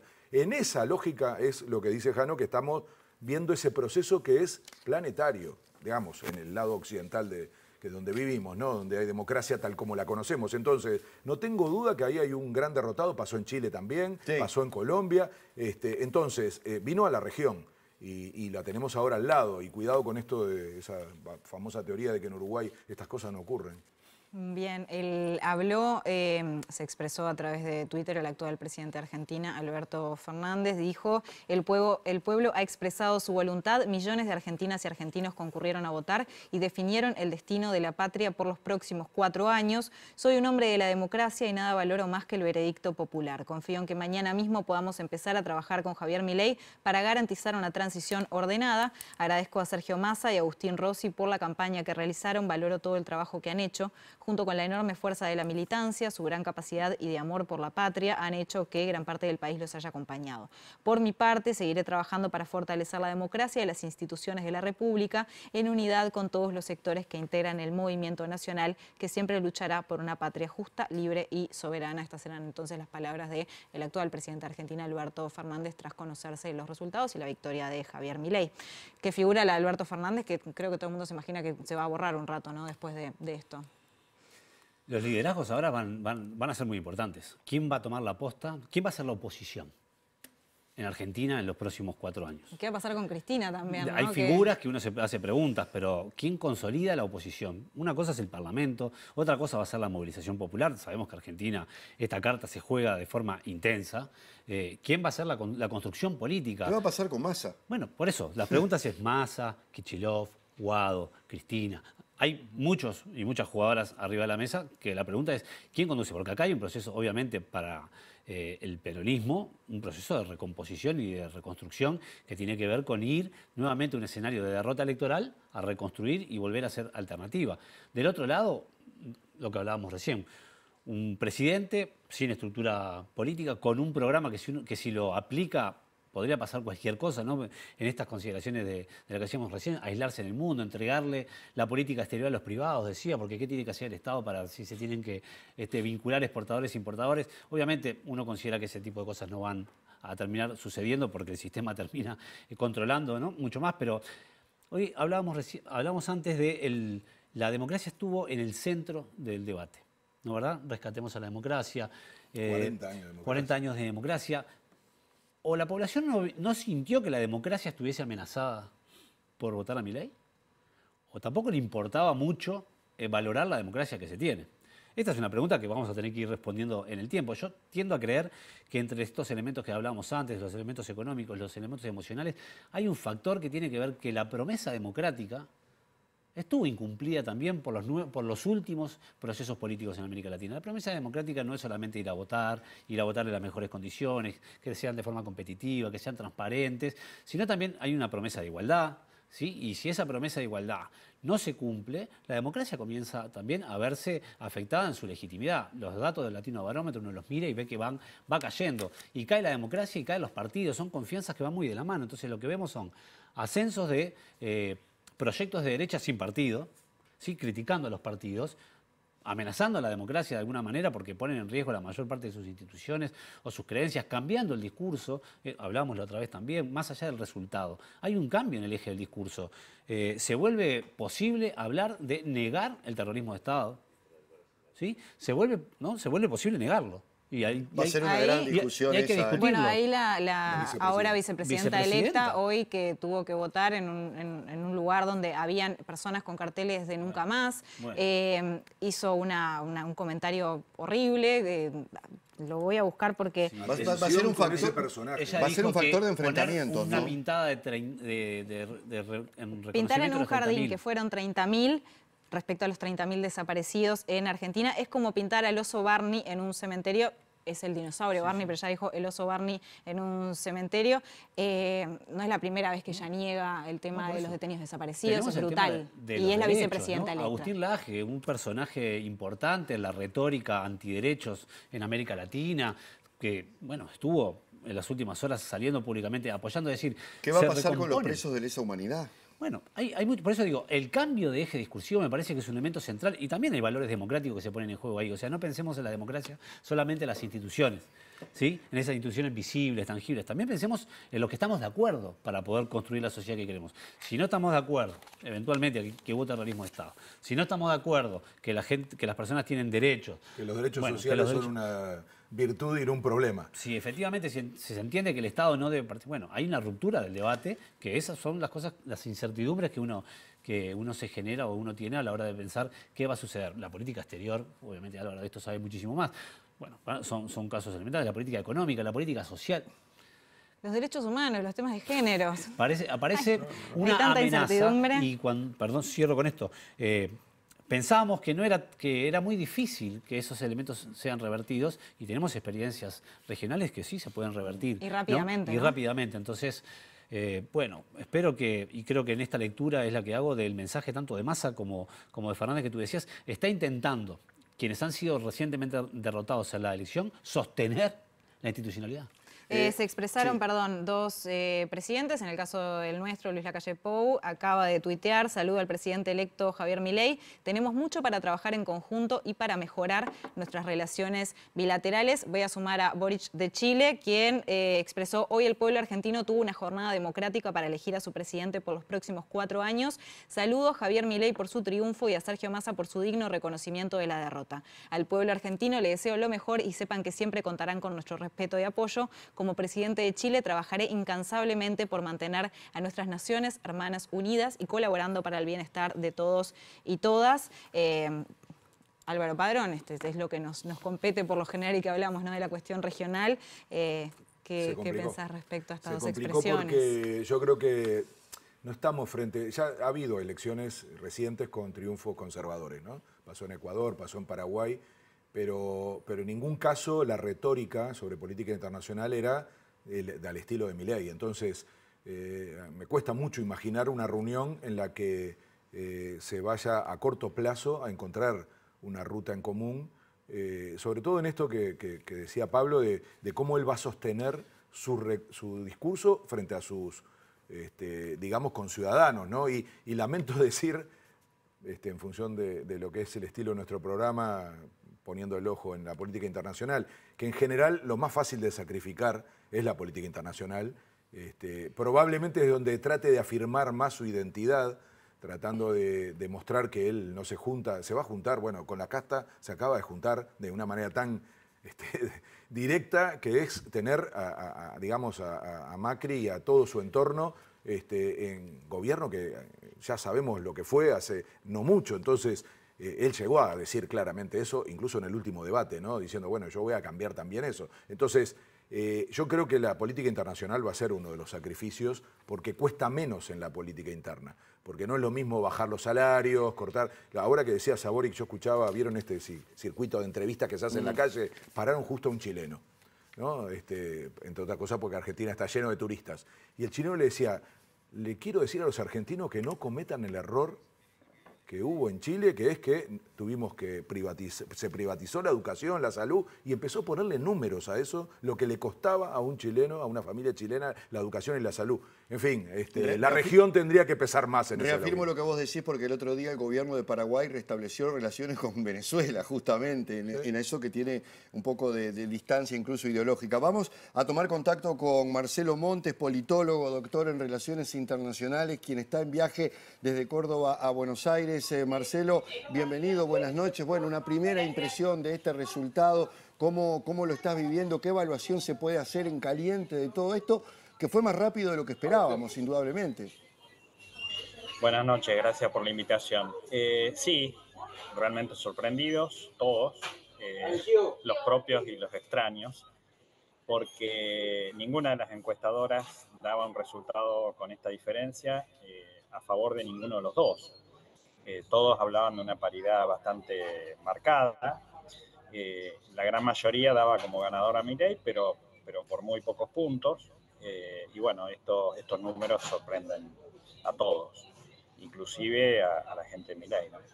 Eh, hay bastante euforia en las calles, sobre todo en las calles de Buenos Aires, pero también de las grandes capitales del interior, eh, Rosario, Córdoba, Mendoza, donde el triunfo de Milay fue aplastante en algunos casos.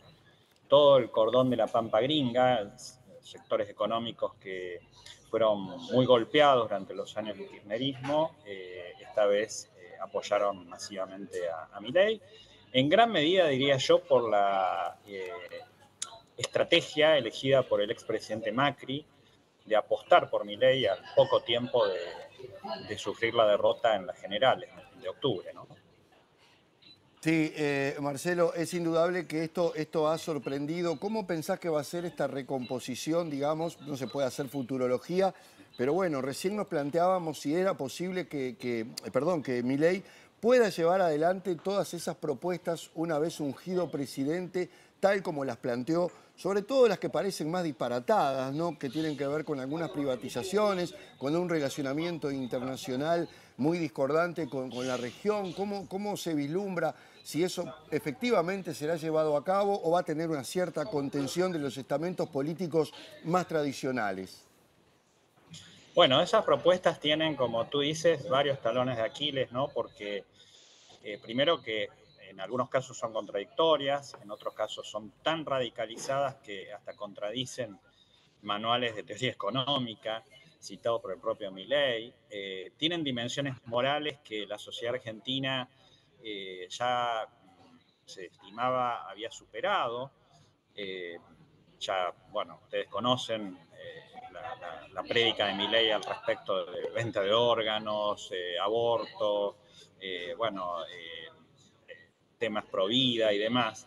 En fin, toda una serie de, de aspectos que, que yo diría son bastante polémicos, contradictorios, que el propio Milei en las últimas semanas trató de desestimar. Eh, tuvimos un Milei más moderado en las últimas semanas.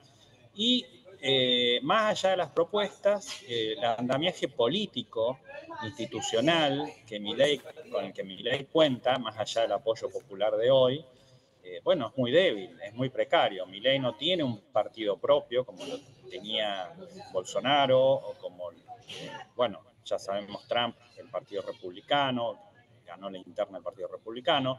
Lo de Milley es una coalición bastante heterogénea, donde confluyen sectores libertarios, liberales, conservadores, pero no tiene un partido político atrás, eh, no tiene cargos institucionales, eh, tiene una banca de diputados y senadores eh, bastante exigua, necesita el apoyo de Juntos por el Cambio sí o sí, no tiene gobernadores, tiene apenas un par de intendentes en algunas localidades del interior del país, en fin, eh, políticamente es muy débil el, triunfo de, de Milei. Eh, tiene una legitimidad popular dada por un balotaje, perdió la general, eh, o sea, va a ser bastante difícil, yo diría, por lo menos, institucionalizar este triunfo, mantenerlo en el tiempo, eh, no, lo, no, lo, descarto, no, no, no, concibo que sea algo imposible, por supuesto. Eh, también me resulta difícil eh, por, el, por el aspecto del, propio candidato, el propio liderazgo de Milei. Todos sabemos que fue un personaje construido sobre la base de la polémica, del monólogo, no es un, un líder muy dispuesto a dialogar, a moderar sus posiciones. Eh, todo lo contrario a lo que necesita la Argentina. Pero bueno, eh, el pueblo lo ha legitimado y, queda por verse entonces cómo va a llevar adelante toda esta titánica tarea de reformar eh, la política y el Estado argentino. Em, ¿Cómo estás? Una, última pregunta. ¿Cómo pensás que se puede ir armando la oposición este, de cara a lo que han sido estos resultados? Es algo que genera bastante incertidumbre, obviamente. ¿Cómo se pueden posicionar Massa o Cristina? ¿Cómo, cómo la ves tú? Bueno, la oposición justamente, eh, separar el plano partidario del plano de los liderazgos, ¿no? Claramente Macri aquí ha ganado un gran protagonismo, es una pieza fundamental, digamos, en, en la precaria alianza de Milei, fue decisiva su jugada política, eh, apenas terminó la, la general, eh, de opositor pasó a ser prácticamente oficialista, Macri. En el caso de Cristina, eh, podría decirse, igual que cuando perdió con Scioli, bueno, ella no jugó esta vez de manera directa, de hecho la campaña de masa se, se hizo prácticamente sin Cristina, ella podría decir que conserva eh, su gran mano derecha, que es Kisilov, como gobernador de la provincia de Buenos Aires, y allí podría ejercer el, tono opositora institucional a Milei, eh, esa es una hipótesis. Y respecto al peronismo y al radicalismo y al PRO, bueno, eh, ya yendo al análisis partidario, eh, bueno, el PRO mmm, estaba muy herido, casi de muerte después de la general. Esta jugada de Bullrich y, y Macri de alguna manera reposó. A ver, Marcelo. Bueno, sí, se nos colgó Marcelo. eh, lamentablemente lo teníamos allí en contacto en viaje desde Córdoba a Buenos Aires, pero creo que quedaba claro básicamente Sí, el estaba concepto. ¿no? repasando un poco lo que son las figuras ahora de la política argentina, de cómo se van a ir armando, ¿no? Eh, Mencionaba a Macri, mencionaba a Bullrich, este, obviamente a Cristina, con Kicillof ahí acompañando. Este, bueno, hay que, hay que ver entonces con estos resultados cómo acomodan el cuerpo, ¿no? No sé cómo- Macri parece ser este, eh, quien va a estar intentando Ordenar desde armar atrás. gobierno, desde atrás y ¿no? no tan atrás. Este, sí, bastante, bastante cerca. eh, porque, lo, porque de alguna forma estuvo en el gobierno, porque lo puede hacer, porque tiene el contacto político y con el poder económico que de alguna forma no tenía claramente Milei. Milei tiene de alguna forma la movilización popular. Esta ¿Va a ser una especie de primer ministro aunque no existe la figura? hay que ver qué cargo inventan. Probablemente algún cargo va a tener, no va a ser un asesor honorario este, que va a estar en la Casa Rosada, seguramente tenga algún cargo de responsabilidad. Puede ser hacia el exterior, pero también va a tener un- una potencia eh, política, tiene una potencia política dentro de, de Argentina.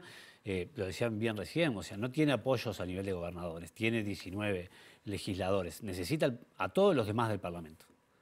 Por lo tanto, tiene que ir a atar. Puede gobernar por decreto. En Argentina se puede hacer bastante este, por decreto, pero entonces ahí vamos al lado de la movilización. Lo que digo es, no pensemos que ahora vamos a ir a un terreno de oposición exclusivamente político-parlamentaria. Yo creo que, por lo que había sucedido, incluso pensemos en el propio proceso de decisión de las internas del peronismo. ¿Sí? que hasta última hora se cambiaron los nombres, se barajaron los nombres eh, y que también ahí hay un proceso interno de, de discusión. Hablábamos la otra vez que de alguna manera en esta campaña se escondió a Cristina. Era parte de la, de la estrategia, había que esconder a Cristina por ese eh, sentimiento anti-kirchnerista. Bueno, Cristina... Al presidente también. Y al presidente. Cristina puede volver efectivamente con, con un poder de conducción este, que lo tiene, que lo tiene. Eh, hay otros eh, líderes eh, que están también eh, en consolidación, hay que ver cómo son los resultados en provincia. Sí, te iba a preguntar por Kisilov si era una figura a tener en cuenta para una próxima elección. Y digo esto porque ganó con luz en la provincia de Buenos Aires después de un periodo que desgasta a cualquier gobernante en una provincia muy difícil. Y además creo que todos pensamos que el cargo de gobernador de Buenos Aires debe ser el segundo en importancia después de la presidencia, ¿no? Sí, eh, por lo que tengo entendido, nadie pasó de la provincia a la presidencia. O sea, son cargos importantes en, en la política y en la construcción, pero después este, pasan otras cosas, digamos, ¿no? Y ahora este resultado, por los datos que estábamos teniendo, se dio también bastante, bastante ecuánime, ¿no? O bastante igualado en, en provincia, eh, pero es un, sin duda es uno de los actores políticos que hoy tiene el peronismo para, Hasta por para edad. promover y hasta, hasta Claro. por edad, por estilo, tienen un proceso por delante, un tiempo por delante para una construcción importante. Del lado de, de, de Milei, Macri, eh, ¿qué va a hacer? eh, ¿Qué van a hacer los radicales? Esta es la pregunta. ¿Van a jugar la carta del Parlamento? ¿Van a jugar la carta del gobierno? ¿Participar del gobierno para controlar de adentro? Bueno, esperemos que ahora nos empiecen a dar este, respuestas. Pasó todo demasiado veloz en estas horas como- Sí. y la distancia del resultado es lo suficientemente amplia también como para que el presidente cobre un valor por encima ¿sí? de lo que podría haber sido un resultado apretado. ¿no? Entonces, ¿quién, ¿quién se adjudica esta diferencia va a ser parte de la negociación? Les compartimos, perdón Álvaro, Sí, un segundo, eh, porque cambia bastante el tono. El presidente de Colombia, Gustavo Petro, tuiteó lo siguiente, en respuesta a un tuit de Iván Duque, expresidente de Colombia. Iván Duque había puesto, quiero extender mi felicitación a Javier Milei, quien se convierte hoy en el nuevo presidente de la Argentina. Hoy triunfó la democracia y se venció el populismo, la demagogia y al grupo de Puebla, a lo cual Gustavo Petro responde en su tuit, ha ganado la extrema derecha en Argentina. Es la decisión de su sociedad, triste para América Latina y ya veremos. El neoliberalismo ya no tiene propuesta para la sociedad, no puede responder a los problemas actuales de la humanidad.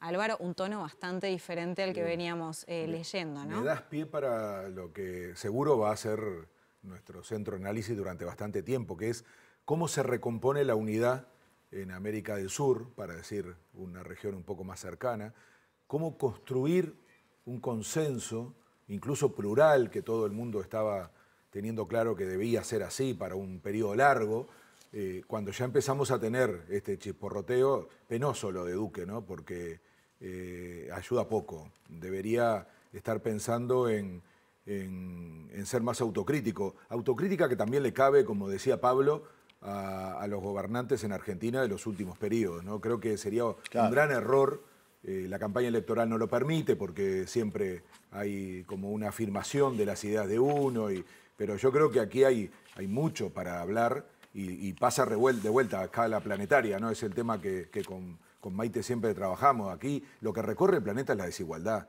Y, y la gente hace bien enojarse frente Y a lo que eso. afecta a la democracia también. Y al final ese es el, el- el golpe, se lo da la democracia, porque la gente espera de la democracia precisamente no solo el voto, sino una sociedad mejor. Entonces, esa frustración es la que hoy está conectando en emoción con estos sectores que, que mienten, que proponen cosas que, que no son reales, que, que- que plantean volver al pasado, y como el pasado en alguna de estas cosas es mejor, le pasa a los del norte, que vivieron en sociedades más igualitarias y que ahora las ven perder, entonces tienen esa idea de que ir para atrás es mejor, a nosotros no nos pasa, pero de alguna manera este fenómeno está demostrando que también funciona. Yo creo que en política internacional es donde vamos a ver un daño importante, porque Argentina es un país importante para la región, no es cualquier país. Acaba de haber un resultado complejo en términos de integración regional en un país que pesa, que es relevante. Ya vamos a retomar este análisis porque seguramente en la medida que pasen los minutos van a seguir expresándose otros presidentes, pero ahora volvemos con María Laura Morales al Correo Argentino,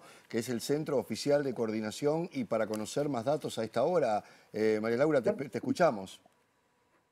Sí, Maijano, bueno, aquí yo sé que ustedes están cerca del cierre del programa, les cuento, les quería comentar un poquito porque miro para arriba porque tengo las pantallas, ¿no? Acá en el correo, ya con los datos que algunos se van ajustando, otros son bastante definitivos. Eh, bueno, 52, 76, 55, 76, Javier Milei, 44, 23, eh, Sergio Massa, en todo el país.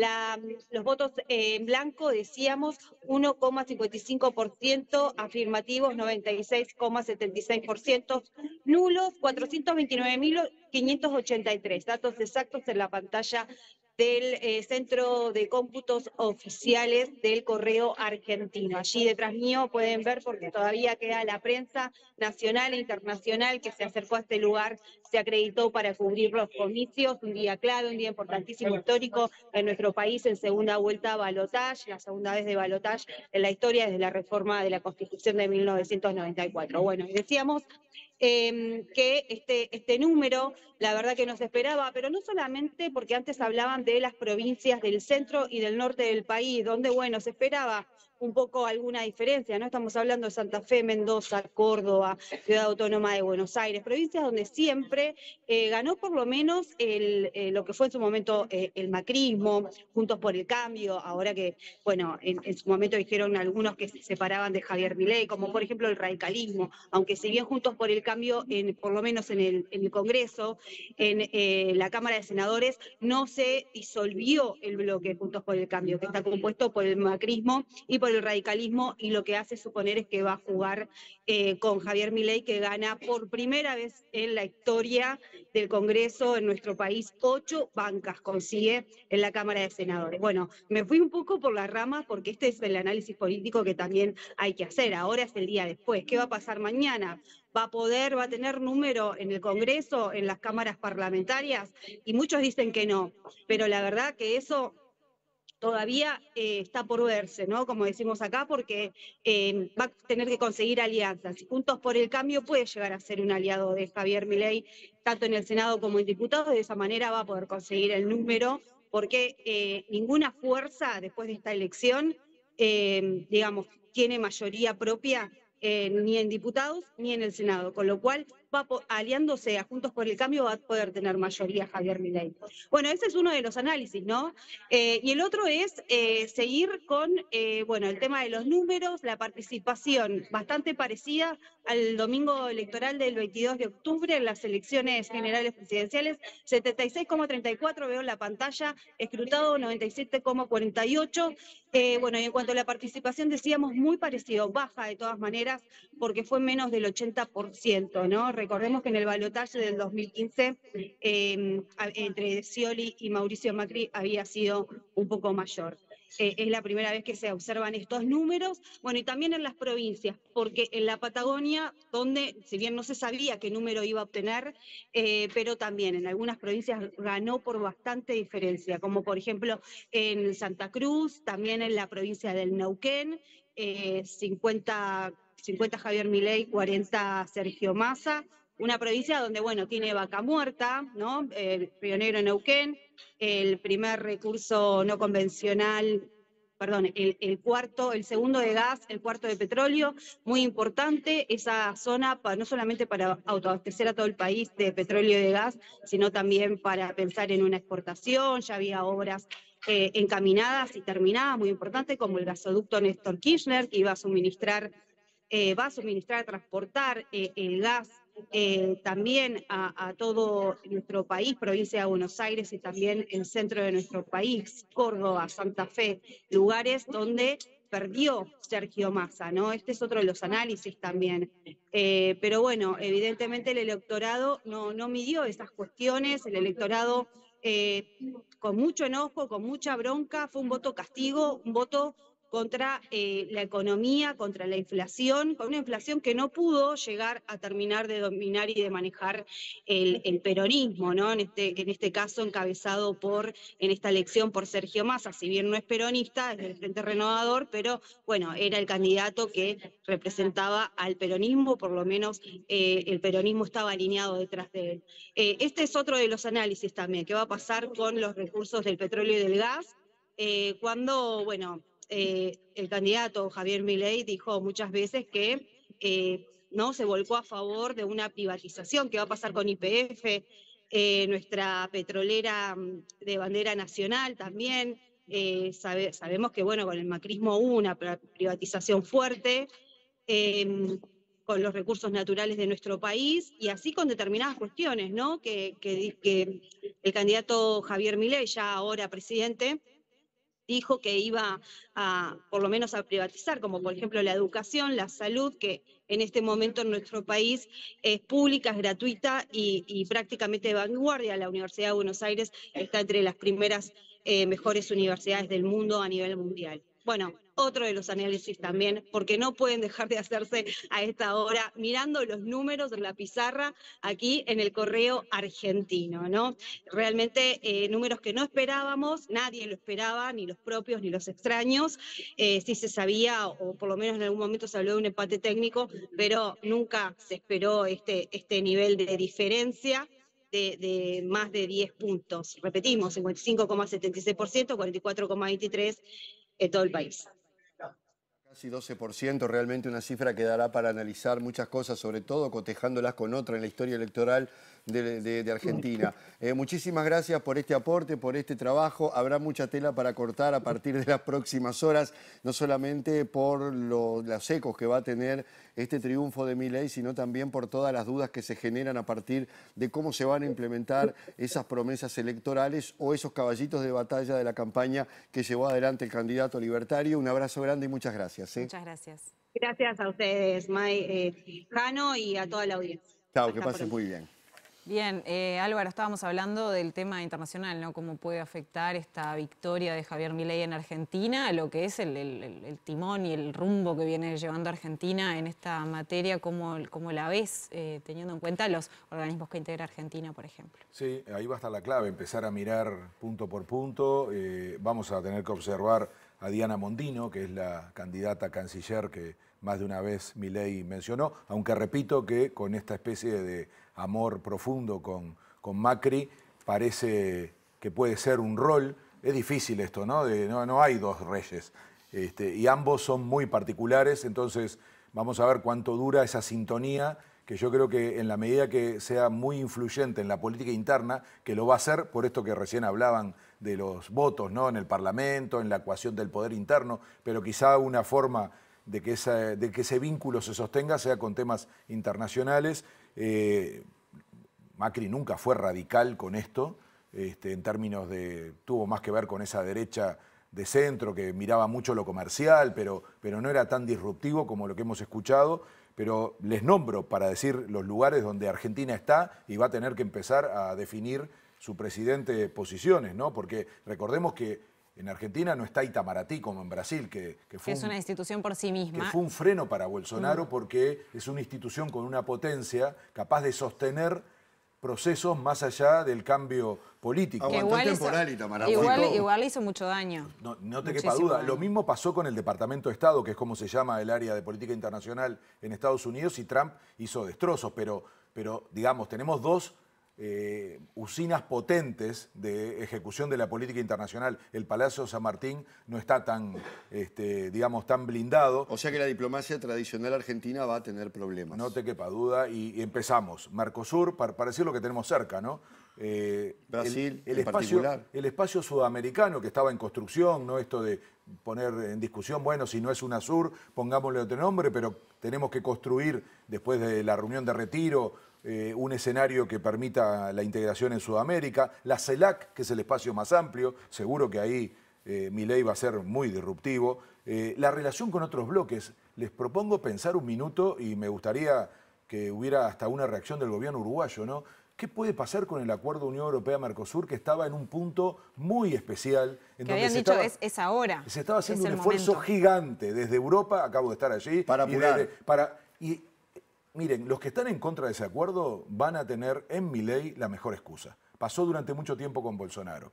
Entonces, cualquier hipótesis de mejora del acuerdo, de, ponerlo en un estadio viable, se hace muy difícil. Yo creo que este, el gobierno uruguayo debería decir algo sobre esto porque ha empujado mucho la idea de que parte del éxito de la inserción internacional radica en que se firmen esos acuerdos. Yo creo que este es un golpe duro para ese acuerdo. Pero después Argentina acaba de entrar a los BRICS. Sí. Ni más ni menos. Con ¿Qué China, dice Rusia. mi ley de los BRICS? ¿Qué dice del G20 que participa Argentina? En fin, ¿qué dice de las Malvinas? Digo, dos temas de política internacional el- muy internos. en el- Malvinas perdón. y el Papa. En el debate justamente se dio esa cuestión con Thatcher, ¿no? Claro, claro. Este, y la canciller y la vicepresidenta, que repito, eh, hay que escuchar a la vicepresidenta porque va a tener un protagonismo, se ve que está convencida y va para adelante. Es un personaje complicadísimo, es un Milei recargado, o sea, es una cosa que a mí me preocupa, este, además porque va a tener el rol en el Parlamento, es decir, eh, entonces... eh, qué capacidad de juntar, de sumar, de dialogar. Pero vuelvo a los dos temas estos, porque son muy caros. Debe ser de los temas donde un argentino conecta política internacional con sus sentimientos, con su realidad, que son las Malvinas por la cuestión histórica y el Papa por todo lo que representa. Y tenemos a un personaje que acaba de ser electo presidente que se metió con esos dos asuntos, que son, junto con, digo, el mito de Vita, quizá esas tres cosas que en Argentina parecían intocables. Después hay organismos, la CAF, que es el Banco de Desarrollo de las Américas, de- donde hay un peso enorme de Argentina, el BID tiene también un peso Argentina. Es que es un país pesado, Ale. Sí, por eso les decía, es un país con escala como para no pasar desapercibido en un cambio radical. Si además es un cambio menor, bueno, igual influye, pero en un cambio radical, un país que tiene potencia para poder influir, es donde yo creo que se vuelve complicado. Y viniendo a la aldea, ¿no? Las relaciones bilaterales, que son muchas. Con Brasil primero que nadie. Bueno, ese, pero es que el, el tono de Lula, vieron que el tono de Lula quedó en el medio, entre lo duro que fue Petro, lo cuidadoso que fue Boric, ni que hablar la calle.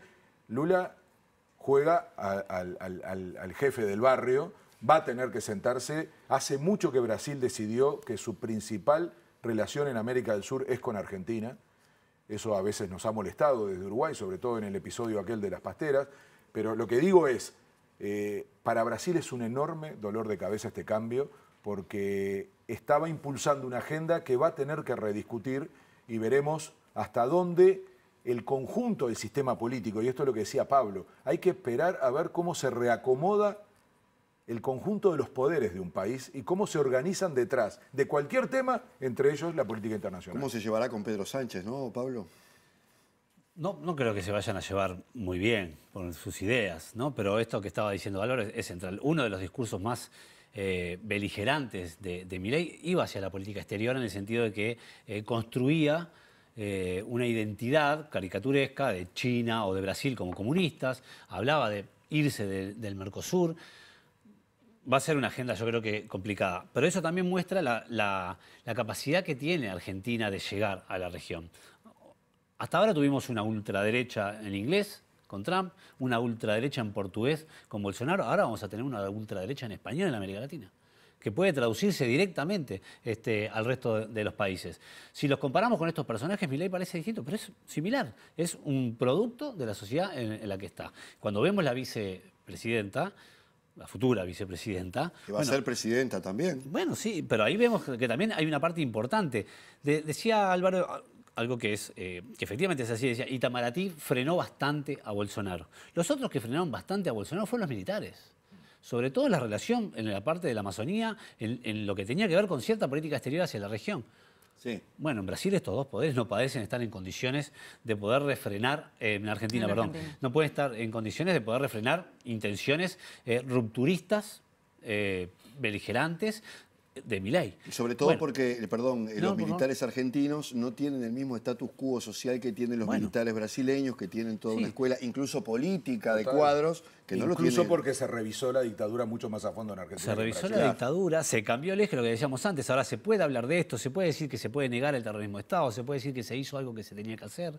Hay un conjunto de actores políticos dentro de, lo- del- de la casta militar este, que están muy contentos con esto y van a jugar y van a ser parte activa. Yo creo que mucho más del, del apoyo político de Milei de lo que le pueda estar dando Macri o Bullrich, que también era una, un referente político con llegada a esos sectores. ¿Tendrán un rol como tuvieron en Brasil, por ejemplo, a nivel político lo- los militares en Argentina?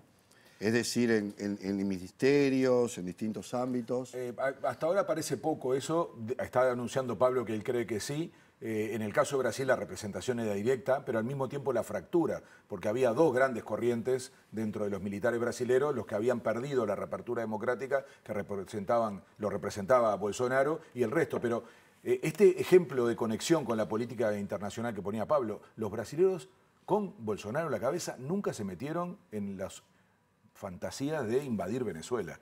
Cuando estaba el grupo, ¿se acuerdan? El grupo de Lima, toda aquella movida. Cuando que- se manejó en algún momento. Claro, ¿no? y Brasil siempre dijo nosotros no. Y eso no lo decía Bolsonaro, lo decían las Fuerzas Armadas. Entonces, eh, estamos frente a un caso de mucha menos construcción de poder institucional. Creo que recién se mencionaba eso, ¿no? Que todavía no conocemos cómo puede manejarse porque no tiene experiencia ni personas que puedan hacer esas conexiones. Entonces, yo creo que hay un gran vacío que se va a llenar porque en la política no existe el vacío y en el poder tampoco. Y ahí aparecerán los oportunismos, aparecerán... Lo que pasa es que eso puede terminar siendo un Frankenstein, ¿no? Algo muy difícil de... Porque no estamos frente a un partido, a un conjunto de ideas, sino a una novedad que en parte por eso tuvo éxito.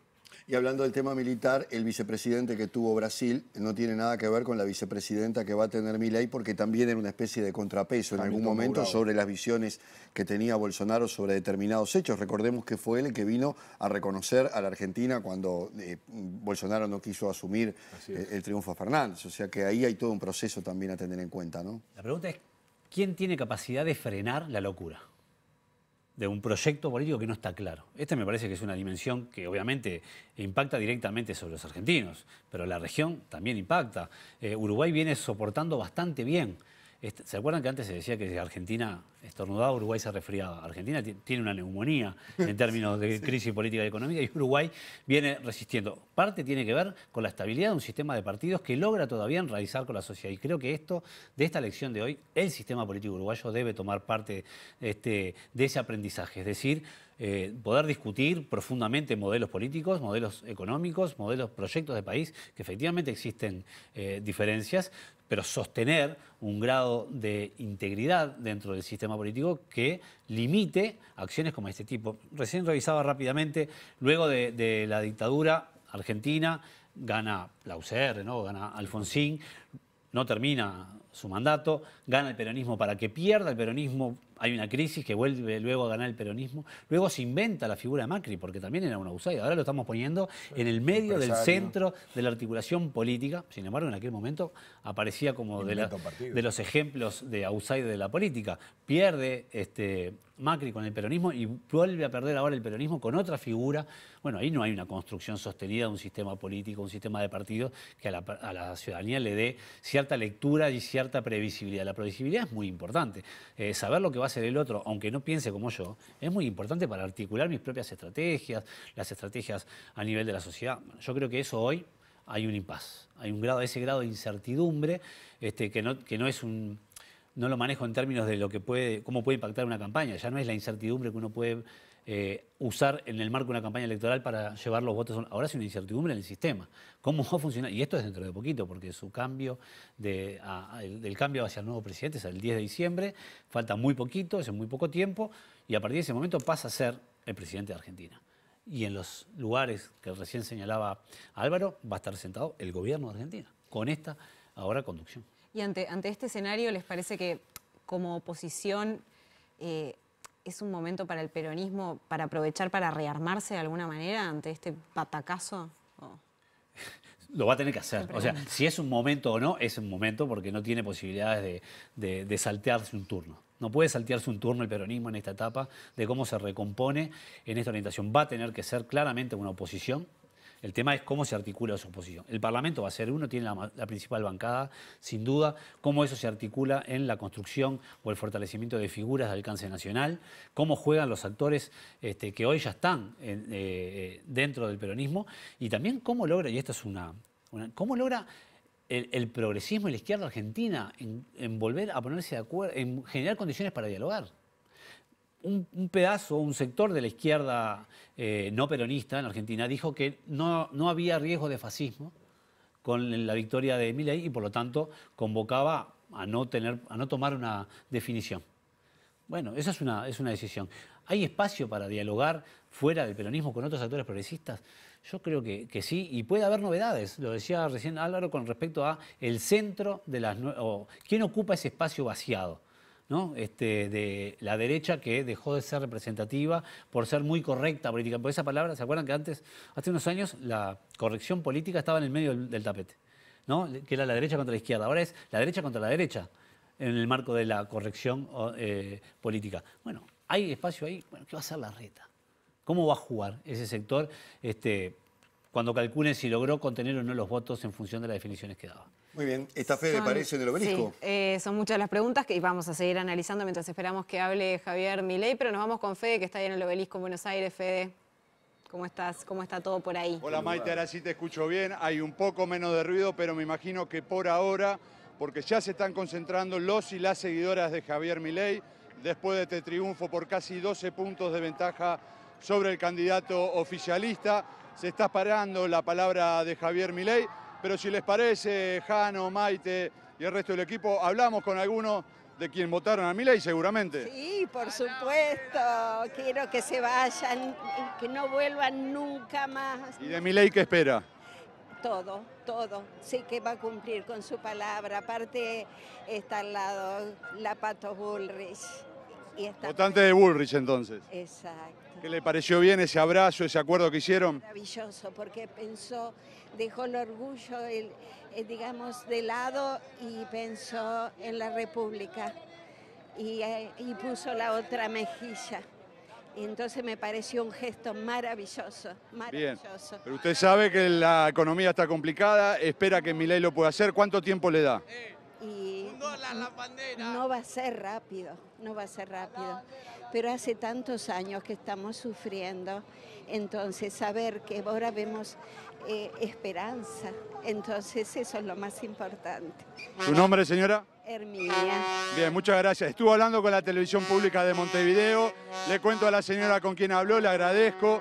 Estamos acá en el obelisco, ustedes saben que ya hay contactos entre el equipo de Javier Milei, el equipo de gobierno, el gobierno en definitiva, para empezar la transición. Vamos a ver si encontramos algún otro testimonio de gente que ha venido al obelisco, votante de Milei. No, no puedo votar, soy venezolano.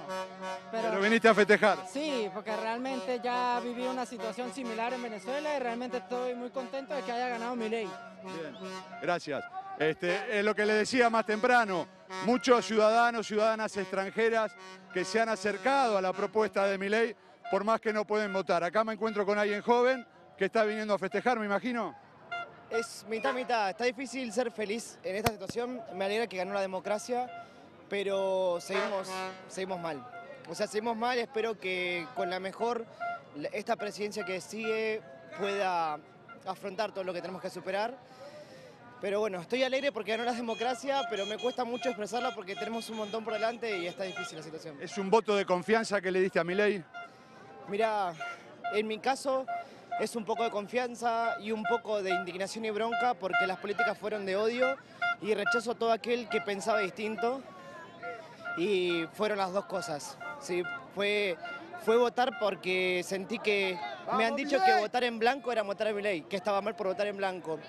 Y esas políticas a mí no me gustan ni me convencen, entonces decidí sinceramente dar mi voto de confianza a algo distinto a lo que venimos afrontando desde más de 12 años y con la esperanza de que mejore. Muchas gracias. eh. Bueno, otros testimonios, personas más grandes, personas más jóvenes. Acá tenemos a una madre con sus tres niñas vestidas de Argentina. Seguramente se arrimó a festejar también. Sí, por supuesto. ¿Qué festeja? Y festejamos que por lo menos vamos a cambiar un poco más Argentina, una nueva oportunidad, espero que no nos defrauden. Y bueno, más que nada por el futuro de ella, que me emociona un poco. Evidentemente sabes que la situación es complicada, que la economía está difícil. ¿Cuánto tiempo pensás o cuánto margen le das a Milei para que empiecen a caminar las cosas según tú crees? No, esto yo creo que va a llevar mucho tiempo. El tema es que haya apoyo, que lo puedan apoyar. Y bueno, hay que empezar a confiar y que empiece a trabajar. Y que la gente que realmente es corrupta, que vaya a la cárcel, que, que empiece a mostrar un poco de cambio. Yo sé que al principio le va a costar un montón, pero bueno, es lo que hay y es la, la única oportunidad que tenemos ahora para poder cambiar. ¿Venía votando a Milei o te convenció el acuerdo con Macri después de la primera vuelta? No, la verdad es que no es que iba a votar a Milei ni a Massa. Pero bueno, dentro de las dos oportunidades que hay, Massa realmente es el ministro de Economía y para mí sería una vergüenza mundial que el ministro de Economía, que está con inflación de 127%, sea el candidato a presidente. Digo, bueno, vamos a dar una oportunidad al otro candidato, que dicen que está loco, pero bueno, vamos a ver si algo va a cambiar. Vamos a ver si hay algo que cambiar, nos decía esta persona que se vino a festejar aquí con sus tres hijas. El tema de la infancia, de las mujeres, del trabajo, son temas que han estado durante toda la campaña establecida. Vamos a buscar alguna opinión de gente joven, si les parece. Hola, ¿cómo te va? Hola. ¿Viniste a festejar? Sí, ¿Qué la festejas? victoria, la victoria de mi ley. ¿Sí? ¿Pensás que él puede cambiar las cosas? ¿Eh? ¿Pensás que puede cambiar? La verdad, sí, yo siento que él puede cambiar algo en Argentina como está ahora. Bueno, muchas gracias. Eh, Jano, Maite, podemos seguir recabando testimonios, ustedes nos dicen, ahora está pasando una escolta de la Policía Federal motorizada, en este caso la Policía de la Ciudad, estamos en pleno obelisco, seguramente se están dirigiendo aquí cerquita, donde está el búnker de Javier Milei, donde se espera que de un momento a otro pueda dar su discurso. No sé si tienen alguna consulta, nosotros vamos a estar acá o nos movemos hacia donde ustedes nos digan, Maite, Jano. Bien, eh, Fede, no, eh, vamos a seguir en un ratito en contacto contigo seguramente y vos darás desde allí la indicación in- cuando ocurra algo que verdaderamente, bueno, esté alterando un poco ese clima que es de preparación, se ve para cuando hable efectivamente Javier Milei y diga sus primeras palabras ya como presidente de la Argentina, que debe ser, me imagino ahí la gran expectativa que hay hasta ahora, ¿no?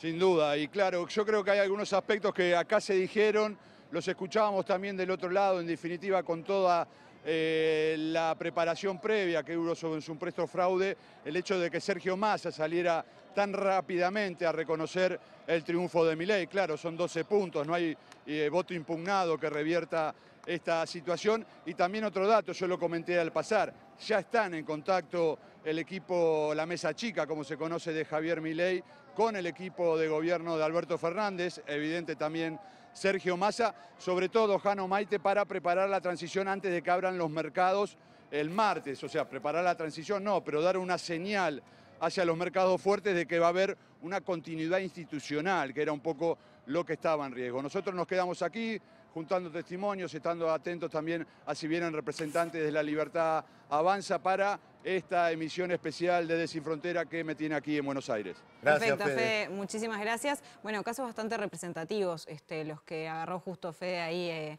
en, en- en la conversa. Y, y me pregunto también este, cómo, quizás cómo contrasta esto, ¿no? Esta felicidad de estas personas que, que manifestaban ahí con eh, las dudas que genera esta, lo que va a ser esta presidencia de Milei en lo que refiere a la implementación, ¿no? La quita de políticas sociales, qué va a pasar con el tema de derechos humanos, qué va a pasar con las cuestiones de política de género, qué va a pasar con la salud, qué va a pasar con la educación. Preguntas enormes porque realmente lo que han sido las manifestaciones de este hombre en lo que refiere a las propuestas que tiene eh, son por demás preocupantes. Yo la verdad que me quedé con esa misma idea tuya de lo representativo de las entrevistas, ¿no? Es absolutamente casual que agarró a cuatro personas con, con perfiles muy distintos, ¿no? La señora en una especie de entusiasmo y de, de- de optimismo absoluto, y, pero no explicaba nada de qué, era lo que esperaba. ¿no? Uno de Era- esos votos que se corrieron de Bullrich a, Esa- a Milei, ¿no? Que pero además sin ninguna cuestión crítica, ¿no? Sin ni siquiera referirse a lo duro que fue el debate entre justamente eh, Milei y, y Juntos por el Cambio.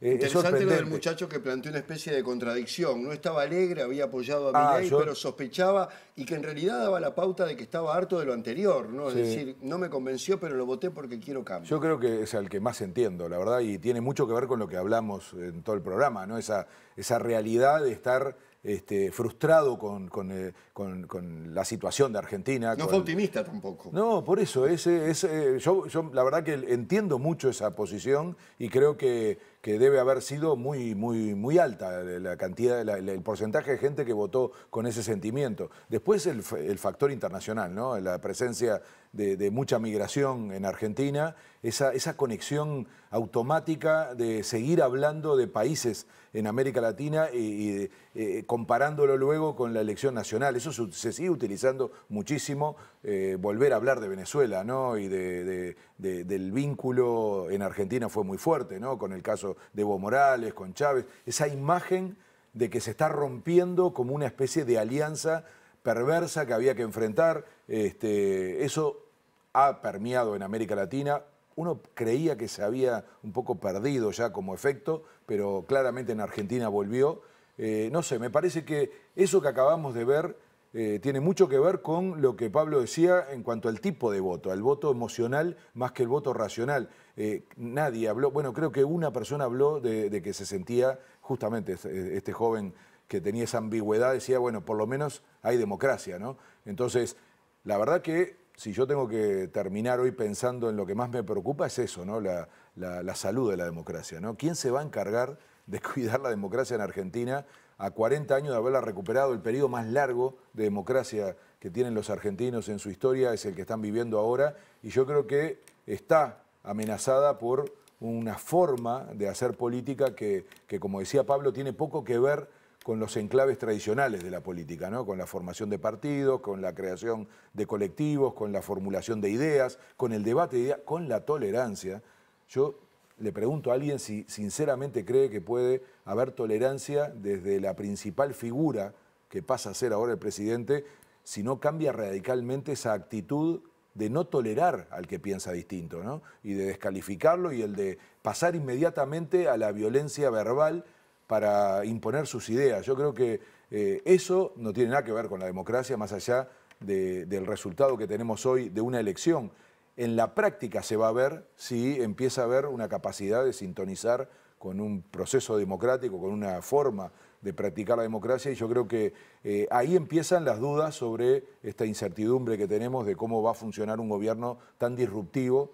Mejor dicho, una persona, porque no, no veo todavía un colectivo Sí, detrás. ¿Cuál es el equipo? ¿Quiénes van a Exacto, ocupar bien los exacto. ministerios? Y cada, saben, otros cada no. vez que vemos a alguien es como que dobla la apuesta, ¿no? Eh, al, a su propio, al propio líder que tienen. Entonces, todo eso va a tener que pasar por un proceso de, de matizarse porque, eh, como se dijo varias veces, hay una enorme pérdida de gobernabilidad, es decir, objetiva, digamos, en datos duros desde el Congreso hasta las relaciones con los sectores de poder, con los poderes locales, con, con- la lógica con la que funciona un Estado. Y agregaría con un asunto serio que es el peronismo. El peronismo, me quedé pendiente de dar, decir algo sobre eso, creo que tiene una gran capacidad de reconversión, lo ha tenido siempre, es algo que nos cuesta entender en otros países, cómo puede ser tantas cosas al mismo tiempo, mutar de una manera ya no solo de liderazgos, que lo logra con una facilidad enorme, sino también de ideas y de focos en políticas públicas. Entonces, no tengo ninguna duda que el peronismo va a empezar a hacer ese proceso. Lo, lo que más me preocupa es que últimamente todo eso se dio hacia la derecha, ¿no? O sea, uno siente que la sociedad argentina ha tenido un retroceso de valores y de, de- de impulsos. Entonces, y con tal de conseguir los votos, hubo ese corrimiento que no fue solamente de Juntos por el Cambio, sino del conjunto del sistema político, y la prueba está que el candidato fue Massa. Hay mensaje de Mauricio Macri. Bien, a ver, ahora Karina Milei. Vamos primero con ella, a ver si ya la tenemos. Buenas noches a todos.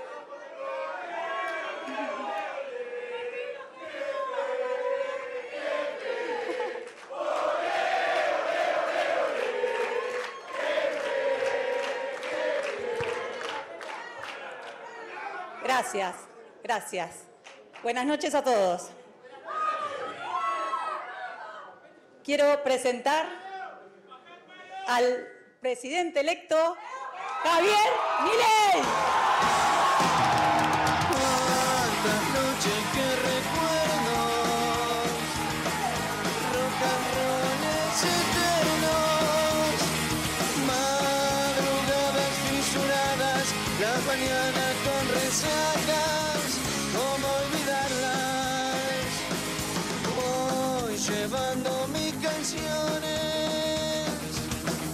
Son derrota mis amores.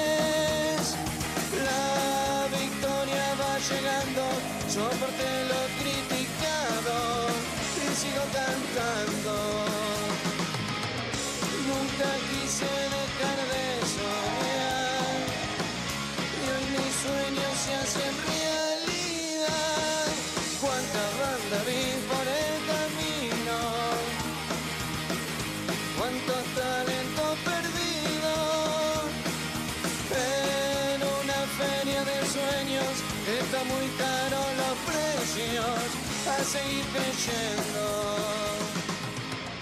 Nunca quise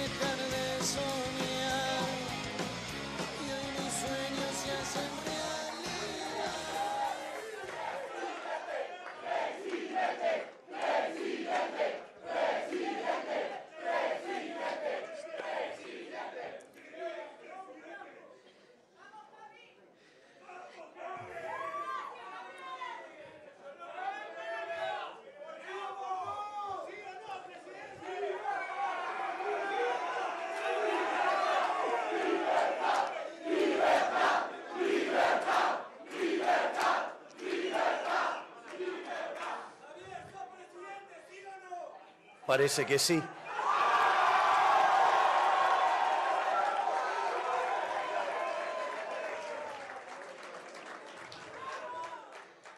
Buenas noches a todos, a todos los que están aquí presentes, a los que están en la calle también festejando y sobre todo buenas noches a todos los argentinos de bien, porque hoy comienza la reconstrucción de Argentina.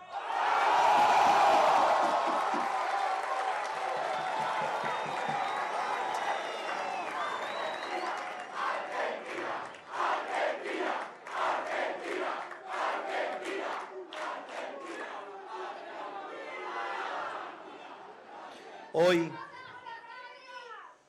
hoy es una noche histórica para la Argentina. Muchas gracias a todos los que vinieron, muchas gracias a todos los que hicieron que esto fuera posible. Gracias al equipo que viene trabajando hace dos años para transformar la Argentina y para lograr el milagro de tener un presidente liberal libertario. Muchas gracias.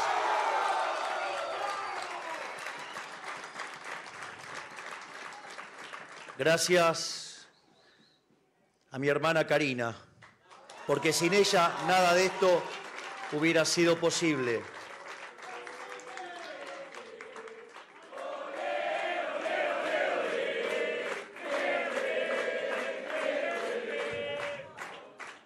Además, también quiero agradecerle a ese gigante que me ha acompañado a lo largo de todo este proceso, ese gigante que suele mantenerse en la oscuridad, que se llama Santiago Caputo y es el verdadero arquitecto de esto junto al jefe.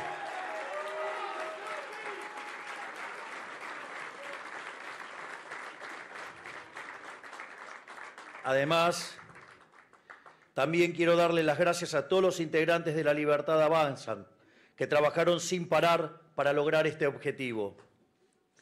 Además, quiero dar muy especialmente las gracias a los fiscales, tanto a los de la Libertad Avanza como a los del PRO, que pusieron el cuerpo para defender los votos.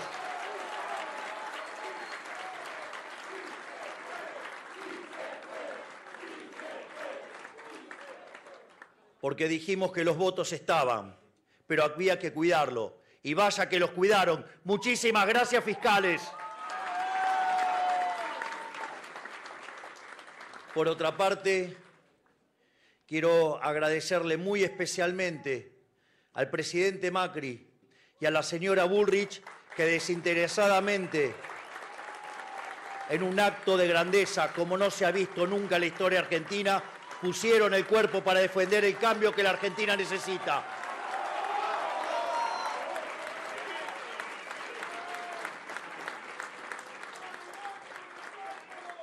Quiero decirle a todos los argentinos que hoy comienza el fin de la decadencia argentina.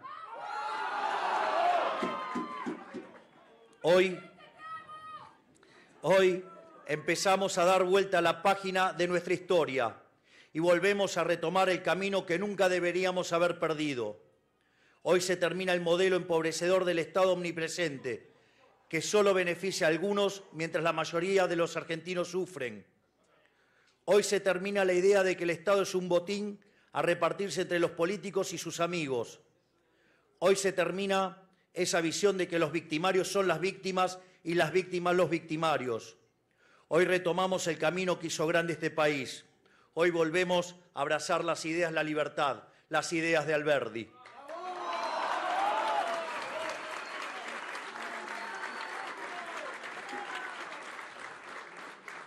En definitiva, las ideas de nuestros padres fundadores, que hicieron que 35 años de ser un país de bárbaros pasáramos a ser la primer potencia mundial. Esas ideas se basan en tres premisas muy simples. Un gobierno limitado, y quiero que quede claro esto, que cumple a rajatabla con sus compromisos que ha tomado. Respeto a la propiedad privada y comercio libre. Quiero ser muy claro con algo. El modelo de la decadencia ha llegado a su fin no hay vuelta atrás.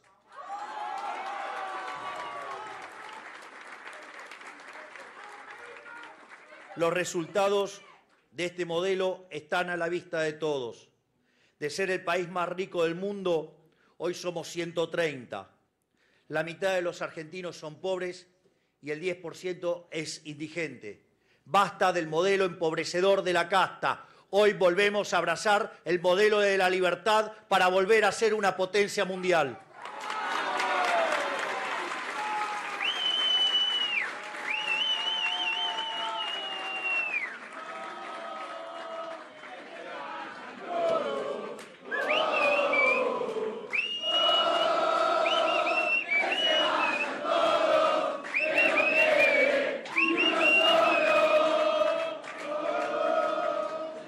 Al mismo tiempo, quiero decirle a todos los argentinos y a todos los dirigentes políticos que todos aquellos que quieran sumarse a la nueva Argentina serán bienvenidos. No importa de dónde vengan, no importa qué hayan hecho antes, no importa qué diferencia tengamos. Estoy seguro que es más importante lo que nos une que lo que nos separa, porque eso es lo que va a hacer que pongamos de pie a la patria y volvamos a ser una potencia.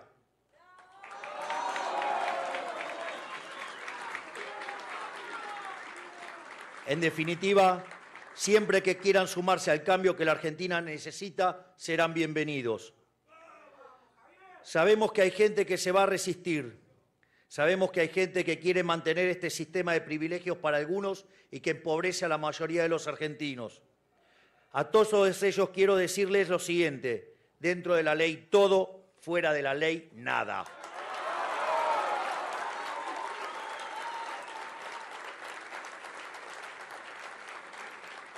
En esta nueva Argentina no hay lugar para los violentos, no hay lugar para los que violan la ley para defender sus privilegios. Vamos a ser implacables con aquellos que quieran utilizar la fuerza para defender sus privilegios. Al gobierno queremos pedirle que sea responsable, que entiendan que ha llegado una nueva Argentina y que actúen en consecuencia, que se hagan cargo de su responsabilidad hasta el final del mandato del 10 del 12.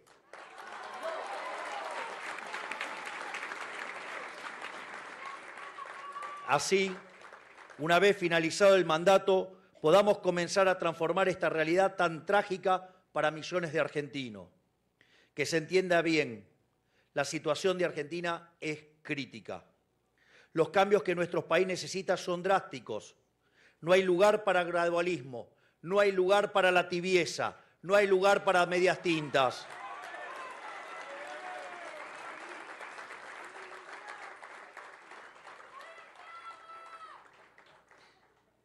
Si no avanzamos rápido con los cambios estructurales que la Argentina necesita, nos, dirigimos derecho a la peor crisis de toda nuestra historia. Es fundamental que todos aquellos que queremos volver a abrazar las ideas de la libertad trabajemos juntos a partir del 10 de diciembre y podamos darle respuesta a una sociedad que ha sido abandonada por la clase política las últimas décadas. Tenemos problemas monumentales por delante. La inflación, el estancamiento, la falta de empleo genuino, la inseguridad, la pobreza y la indigencia. Problemas que solo tienen solución si volvemos a abrazar las ideas de la libertad. Problemas que solo tienen solución si aquellos que queremos una Argentina distinta trabajamos juntos. A todos aquellos que nos están mirando desde afuera de la Argentina, quiero decirles que la Argentina va a volver a ocupar el lugar en el mundo que nunca debió haber perdido. Nuestro compromiso es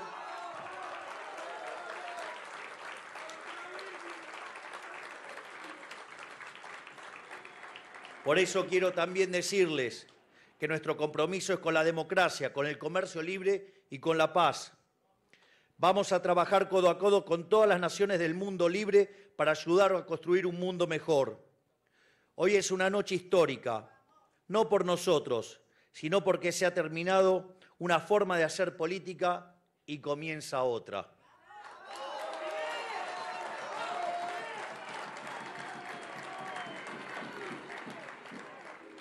a los argentinos, quiero decirles que a pesar de los problemas enormes que tiene el país, a pesar de lo sombrío que luce la situación, quiero decirles que Argentina tiene futuro, pero ese futuro existe si ese futuro es liberal.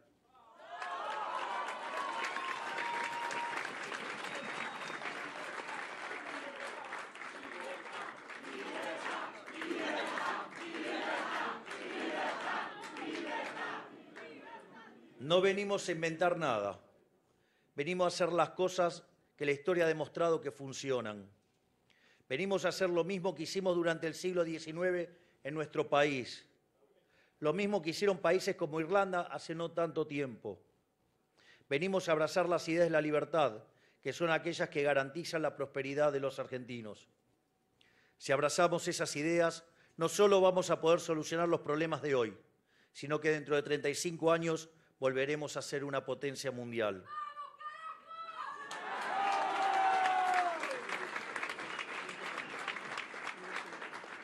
Sin lugar a dudas, hoy vamos a festejar.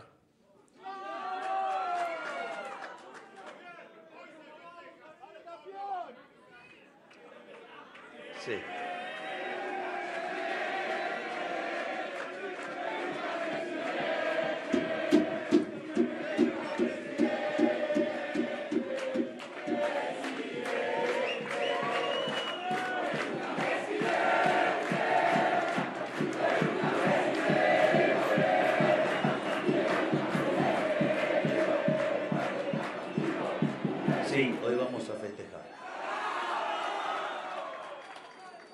También es cierto que mañana, desde primera hora de la mañana, nos pondremos a trabajar para que el 10 de diciembre empecemos a traer las soluciones que los argentinos necesitan.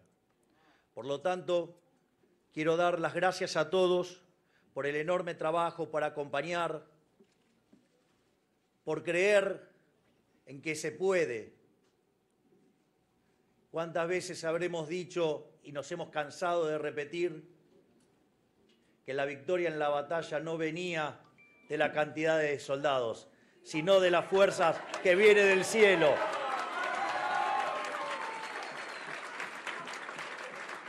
Por lo tanto, quiero darle las gracias a todos y no podía terminar de otra manera. ¡Viva la libertad, carajo! ¡Viva la libertad, carajo! ¡Viva la libertad, carajo! Dios bendiga a los argentinos. Muchas gracias.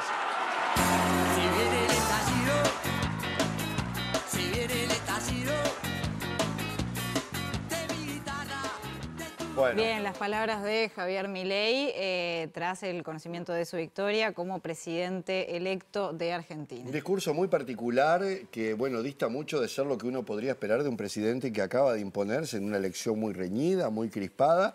Vimos un Milei muy medido, leyendo, un poco confuso en algunos momentos y tú señalabas Sí, ahí, Maite, algunos- repitiendo conceptos. Repitiendo algunos apuntes, habló del milagro de tener un presidente en Argentina liberal libertario. La figura de su hermana Karina Milei sigue siendo central. De hecho, le agradeció especialmente. Mencionó a Macri y a Bullrich. Les dijo, quiero agradecer muy especialmente a Macri y a Bullrich, que brindaron su apoyo desinteresadamente, señaló. Hay que ver cómo se traduce esto después. Habló mucho del pasado, ¿no? de retomar este, el camino que hizo grande a la Argentina. Eh, habló de tres premisas del gobierno limitado, el respeto por la propiedad privada y también el comercio libre. Bueno, mencionó varias veces este modelo que quieren implementar para que Argen- Argentina vuelva a ser una potencia. Un apunte dijo, no hay lugar para los violentos, también algo que eh, en lo que viene siendo su discurso de bastante virulencia y violencia es al menos un comentario particular. Dijo que existe la necesidad de implementar cambios drásticos eh, y bueno, de que Argentina vuelva a ocupar el lugar en el mundo que nunca debió haber perdido, ¿no? Este Álvaro, este lugar en el mundo que sería en 35 años capaz con estos planes que tiene Milei, ¿verdad? ¿Cómo lo vieron? Sí, eh, la pregunta es en- a qué mundo se refiere, porque él dijo a los países libres, ¿no? Entonces, eh, ¿dónde ubica sus socios a nivel internacional y si esos socios están dispuestos a conversar con un personaje así, ¿no?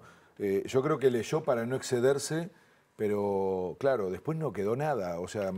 ese- fue sorprendente la repetición de, de frases. Discurso bastante vacío. Y el ¿no? poco entusiasmo que, que tenía él y que generaba en la gente. Pero bueno, este, a mí me impresionó porque no recuerdo ningún discurso en una elección competitiva en donde la tónica fuera confrontativa y por lo tanto no convocara al resto. O sea, eh, no dio el más mínimo pie, salvo referencias muy genéricas a, que los que estuvieran dispuestos a venir, pero es muy, muy difícil ¿no? que uno piense en, un proceso que tiene que luego encontrar acuerdos y que el arranque el discurso, en donde todo el mundo siempre está dispuesto a decir que agradece, que, que espera, que quiere gobernar, esa frase es típica, ¿no? Para todas y todos los argentinos, hubiera esperado uno esa frase. No, al y- contrario, al perdón, pero ahí en el comienzo él habló, eh, saludó especialmente a los argentinos de bien, Sí, sí. ¿no? Como ya este, marcando esa grieta de que hay argentinos de bien que lo votaron y argentinos de mal. Y sumo a esa cuestión confrontativa el anuncio de que no habrá ni tibieza, ni gradualismo, ni medias tintas. Eh, el que no entienda ese mensaje, este, que repase entonces las propuestas de, la campaña, porque se está refiriendo a lo que va a hacer en términos de recorte. Y yo vuelvo a una imagen que para mí fue muy clara, ¿no? La motosierra. Y aquel día que empezó a sacar de una especie de, pizarrón los ministerios que iba a disolver y las políticas públicas que iba a diso- disolver. Eh, en resumen, pocas ideas, poca claridad, poco entusiasmo de él y de la gente y finalmente apelar a la fuerza del cielo. Porque la verdad es que yo me pregunto dónde van a estar, y vuelvo al punto de todo el programa, ¿no? ¿Dónde van a estar las bases políticas, sociales, económicas que sostengan un gobierno que arranca muy débil, que arranca en un discurso hasta con poco entusiasmo? Entonces, yo creo que estamos frente a algo nuevo, distinto, complicado, distinto en el sentido de la forma, porque él mismo se encargó de decir que no va a inventar nada, que va a usar las ideas del siglo XIX, otra cosa rarísima para pensar en un mundo tan distinto que el del siglo XIX. Entonces, eh, es, es sorprendente, ¿no? Yo creo que estamos frente a un caso nuevo de ultraderecha conservadora en el mundo, pero la versión quizá más extrema en algunos sentidos de la que se ha dado hasta ahora. Lo hablábamos al principio del programa con, con los compañeros del equipo que decíamos, nos sorprendimos con Trump, después vino Bolsonaro. Bueno, este es especial. Este, quizá Argentina, esa la argentinidad al palo, ¿no? nos presenta siempre una novedad y, y la verdad es que este, nos deja esa sensación de enormes dudas y, y sobre todo de mucha incertidumbre de si lo que, lo que se ha dicho hasta ahora es viable. Pablo, ¿cómo viste tú este, este discurso y estas primeras señales, no? El discurso me pareció un discurso pobre para ser un discurso ganador, ¿no? de un presidente que más bien nos, nos, Estaba más en- entusiasmado Massa que, nos, acostum- ¿no? acostumbró a otras cosas en, en la campaña. Yo creo que la, Poca lec- intensidad, la digamos, lectura ¿no? era para justamente no irse, eh, no, no desbocarse. Eh, creo que fue muy reiterativo. La idea de ir al siglo XIX, me imagino, es porque no debe encontrar ningún referente en el siglo XX con el cual pueda conectar y no pelearse con su base. ¿No? Entonces, ¿con quién fue Alberdi, el autor intelectual de la Constitución de 1853? Lejos. Lo más lejos que se puede ir es la noción de patria argentina. De ahí para acá podrá reconstruir, pero creo que tiene que ver este, con eso. Hablábamos acá antes de los frenos. ¿Quién le va a poner frenos? Parece que dijo, nadie me va a poner frenos. ¿no? Acá no hay espacio para la tibieza. Y yo habíamos hablado antes, bueno, venimos a poner eh, privatización de las empresas y los servicios, incluida la salud y la educación, eh, flexibilización laboral, eh, instalación de, de los vouchers ¿no? en- como experiencias en otras regiones, ahorros, reducción del gasto. Bueno, esa parece que ser de alguna de sus políticas, más todo lo que tiene que ver con el no reconocimiento de los derechos. Veremos cómo, qué hace con esa agenda, porque esa agenda es una agenda que tiene que en última instancia ir hacia atrás y buena, buena parte de su base social se lo va a, a reclamar. Eh, Hablaba de 35 años, lo decía en su programa también, estos son ocho gestiones, ocho administraciones, no, no dice cómo van a, a pasar esas cosas. Creo que fue un discurso eh, que no, no provocó adhesiones, no provocó eh, entu- Entusiasmo. entusiasmos. Y mucho menos claridad. No sé si, claro, no fue claro, no sé si esperaba algo en este momento, en esta demora, porque podría haber salido antes, no, no hizo Para referencia. Para decir algo, ¿no? Uno pensaba, bueno, capaz que salía con alguna designación, mis ministros en estas áreas van a ser tales, hablamos de Macri, bueno, ¿quién podría ser su ministro de Economía? Uno podía pensar que iba a jugar todas las cartas. Bueno, esto no pasó, no sabemos por qué, lo sabremos sin duda en, en la- en Sobre las todo próximas... considerando lo que fueron los discursos de campaña, ¿no? Incendiarios, por lo menos mucho más este, entusiasmantes que, que esto que hizo que ahora, Los pueblos, en esto me parece siempre importante, siempre hay una paciencia que es estratégica, ¿no? O sea, ahora nos parece que es terrible lo que está pasando. Yo creo que, analizando políticamente, es una situación muy compleja. Argentina va a salir de esto, vemos de qué forma este, lo va a hacer, el sistema político tendrá que ordenarse, la ciudadanía argentina va a tener que, que- también eh, encontrar los mecanismos para expresarse. Uno de los temores es que en general cuando la derecha ha movilizado o ha jugado la carta de la movilización popular, ha generado violencia política. Y este para mí, yo diría, hoy es uno de los elementos Sí. que deberíamos estar atentos. La violencia política no es ir solamente a reprimir una marcha. La violencia política es organizar de alguna forma colectivos estatales y paraestatales para reprimir ideas. Y cuando eso sucede, y aquí él lo ha dicho durante campaña, ha tenido acompañamientos como el de Burrich, que ha tenido un discurso en, en este sentido, para mí son elementos eh, que deberían llamar la atención. Y cierro, fue contradictorio, eh, no a la violencia, pero parecía que estar hablando de los demás. Parecía estar hablando acá en el espacio para los violentos del otro lado. Y esto me parece que es una novedad, de alguna forma, para poner arriba de la mesa que no habíamos hablado, y es eh, cómo va a jugar la carta de la disidencia en el debate público. Hasta ahora se ha rodeado de gente que reprime. Veremos cómo lo hace él. Muy Guión bien, para Sin Frontera por un buen tiempo. ¿eh? Sí, seguramente que sí. Eh, Álvaro Padrón, Pablo Álvarez, muchísimas gracias por compartir esta mesa con nosotros. Los invitamos a quedarse unos minutos para ver qué nos dice Fede Yurkovich desde Buenos Aires. Fede, eh, bueno, ¿qué está pasando ahora? ¿Cuál es el ambiente? ¿Y qué ha dejado este discurso en la gente que estaba allí en el obelisco? Bueno, Jano, imagínate, acá es una fiesta cuando hay algo que festejar. Los argentinos, las argentinas vienen al obelisco. Esta es una instancia histórica. Está analizando, estamos empezando a analizar sus repercusiones. Seguramente no pasó desapercibido para ustedes tampoco la frase que dijo Milei, dentro de la ley todo, fuera de la ley nada. porque eso también, más allá de, de los contactos que tiene con nuestro país, eh, tiene que ver también con algunos de los cambios que proponía Milei, me parece, y que decía que no se podían realizar eh, tan fácilmente. Por otro lado, también decía Pablo Álvarez que se esperaba un discurso, este, había que ver qué tipo de discurso daba. Aquí se tenía como premisa que si era en el tono en el que fue, en definitiva era una señal para el resto del partido político, de los partidos políticos, en especial para Massa, que rápidamente consiguió, eh, reconoció la victoria. Vamos a hablar con algunas personas que están aquí este, festejando, me imagino, caballero. Sí, soy portugués, falo poco argentino. Fala poco argentino, pero acá, acá tengo un argentino, creo. ¿Cómo te va? Buenas, ¿qué tal? ¿Cómo andan? ¿Todo bien? ¿Tu nombre? Francisco. ¿cómo ¿Festejando? Y básicamente sí. Lo, lo sigo del 2016 a Javier. Eh, yo creo que abrió una, una puerta que todos los argentinos y toda Latinoamérica y creo que el mundo necesitaba, que eh, espero que se lleve a cabo. Así como en su momento mi, eh, Macri propuso un cambio que no lo, no- lo- no lo hizo, lo buscamos con mi ley y creo que justamente los que somos honestamente intelectuales, que queremos que ese cambio exista, buscamos que él lo haga. Y si él no lo hace, también lo vamos a criticar, porque justamente de ahí creo que viene el tema de no ser un, un termo. Nosotros queremos, fíjate que la diferencia entre Lula, Boric, fíjate Boric, Boric agarró un Chile que Chile es liberal en lo económico y eso no lo tocó.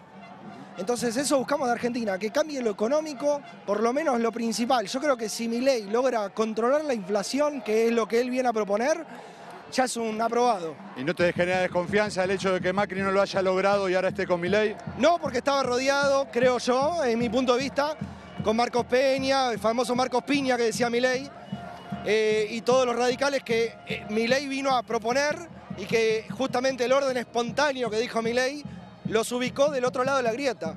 O sea, básicamente es, o sea, digamos, o sea, es esa cuestión de la, la política que busca los privilegios de la política y de los sindicatos, los medios, todo eso, con el hecho de hacer políticas para el pueblo. La última, te hago. Se gritaba acá, la casta tiene miedo y por otro lado, en este acuerdo político, de alguna manera la casta ingresa a la libertad. No, no ¿Cómo estoy de ves acuerdo, eso, no estoy de acuerdo con eso por dos sentidos. Yo creo que la casta fue más evidente con Bussi y con Martín Menem que con lo que hizo con justamente Macri.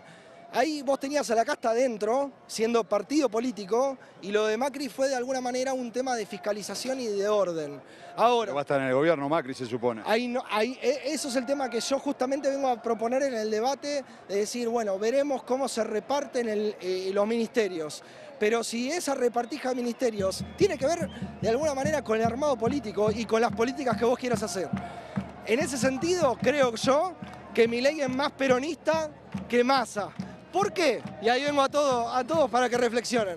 Mi ley viene a proponer que la gente que está laburando, que sea laburante, pueda acceder a ser mejor socialmente, o sea, que sea de alguna manera de, clase media a clase media alta, el famoso ascenso social, cosa que Massa no te dice. Massa te dice el famoso subsidio del Estado. Te propone que el Estado te soporte y qué sé yo, y en cambio Milei te dice, loco, con tu laburo vos podés ser mejor. Entonces, para mí, Milei hoy en día es más peronista que Massa. Bueno, miren, con, con qué testimonio eh, cerramos esta edición de Sin Fronteras especial. Este, evidentemente el discurso de Milei, la votación que logró Milei, deja un montón de incertidumbres, algunas ya las he estado planteando, qué va a pasar en el Parlamento. Milei consiguió más votos que lo que tuvo en definitiva en la primera vuelta junto por el cambio. Hay que ver esa fractura que se hablaba entre Larreta, Burris, Pichetto, Carrió, cómo se configura eso en el Parlamento. Por otro lado, del lado del oficialismo hasta el 10 de diciembre, en definitiva Massa no pudo sumar más votos y quedó casi empatado con la primera vuelta, lo cual de alguna manera deja a Kicillof como el jefe de alguna manera del peronismo. Eso son los primeros análisis, habrá que ir teniendo en cuenta, pero decía recién nuestro entrevistado lo que significa el triunfo de Milei. No solo para la Argentina, hay que tener en cuenta que venimos de un triunfo de Lula, de una derrota de Katz en Chile, y entonces esto supone en Latinoamérica un nuevo empujón eh, después de lo que fue el gobierno de Bolsonaro. Aquí algunos de los testimonios que recogimos marcan esta incertidumbre también. Ustedes la han podido ver, hay como una sensación de alegría, se sabe que la situación es muy complicada, pero se da cierto margen eh, de espera para ver qué ocurre. Jano, Maite, espero que la transmisión desde aquí haya salido lo mejor posible, trabajando con Facu Bustamante y Ciro Durán desde Buenos Aires, hemos hecho un equipo recién conociéndonos, así que esperamos que tanto la calidad técnica como de los testimonios y los aportes hayan sido de utilidad. Un gusto como siempre. Diez puntos. muchísimas gracias a vos y al equipo por tan excelente laburo y por acompañarnos esta noche desde allá. Un abrazo a todos. Descansen ahora. Y por supuesto también a todos los compañeros del equipo aquí en el piso que han estado trabajando durante toda esta jornada, incluso algunos desde muy temprano, como JP y también otros compañeros que han estado aquí en el estudio. Bueno, a todos ellos muchísimas gracias, que han sido artífices de esta emisión. Y a ustedes que nos acompañaron del otro lado, también muchísimas gracias. Nosotros siendo casi las diez y media de la noche nos despedimos de esta transmisión especial por el balotaje de Argentina. Se abre un nuevo capítulo para este país que estaremos siendo desde Sin Fronteras como siempre. Nos reencontramos el domingo aquí en Sin Fronteras. Que descansen, muchas gracias.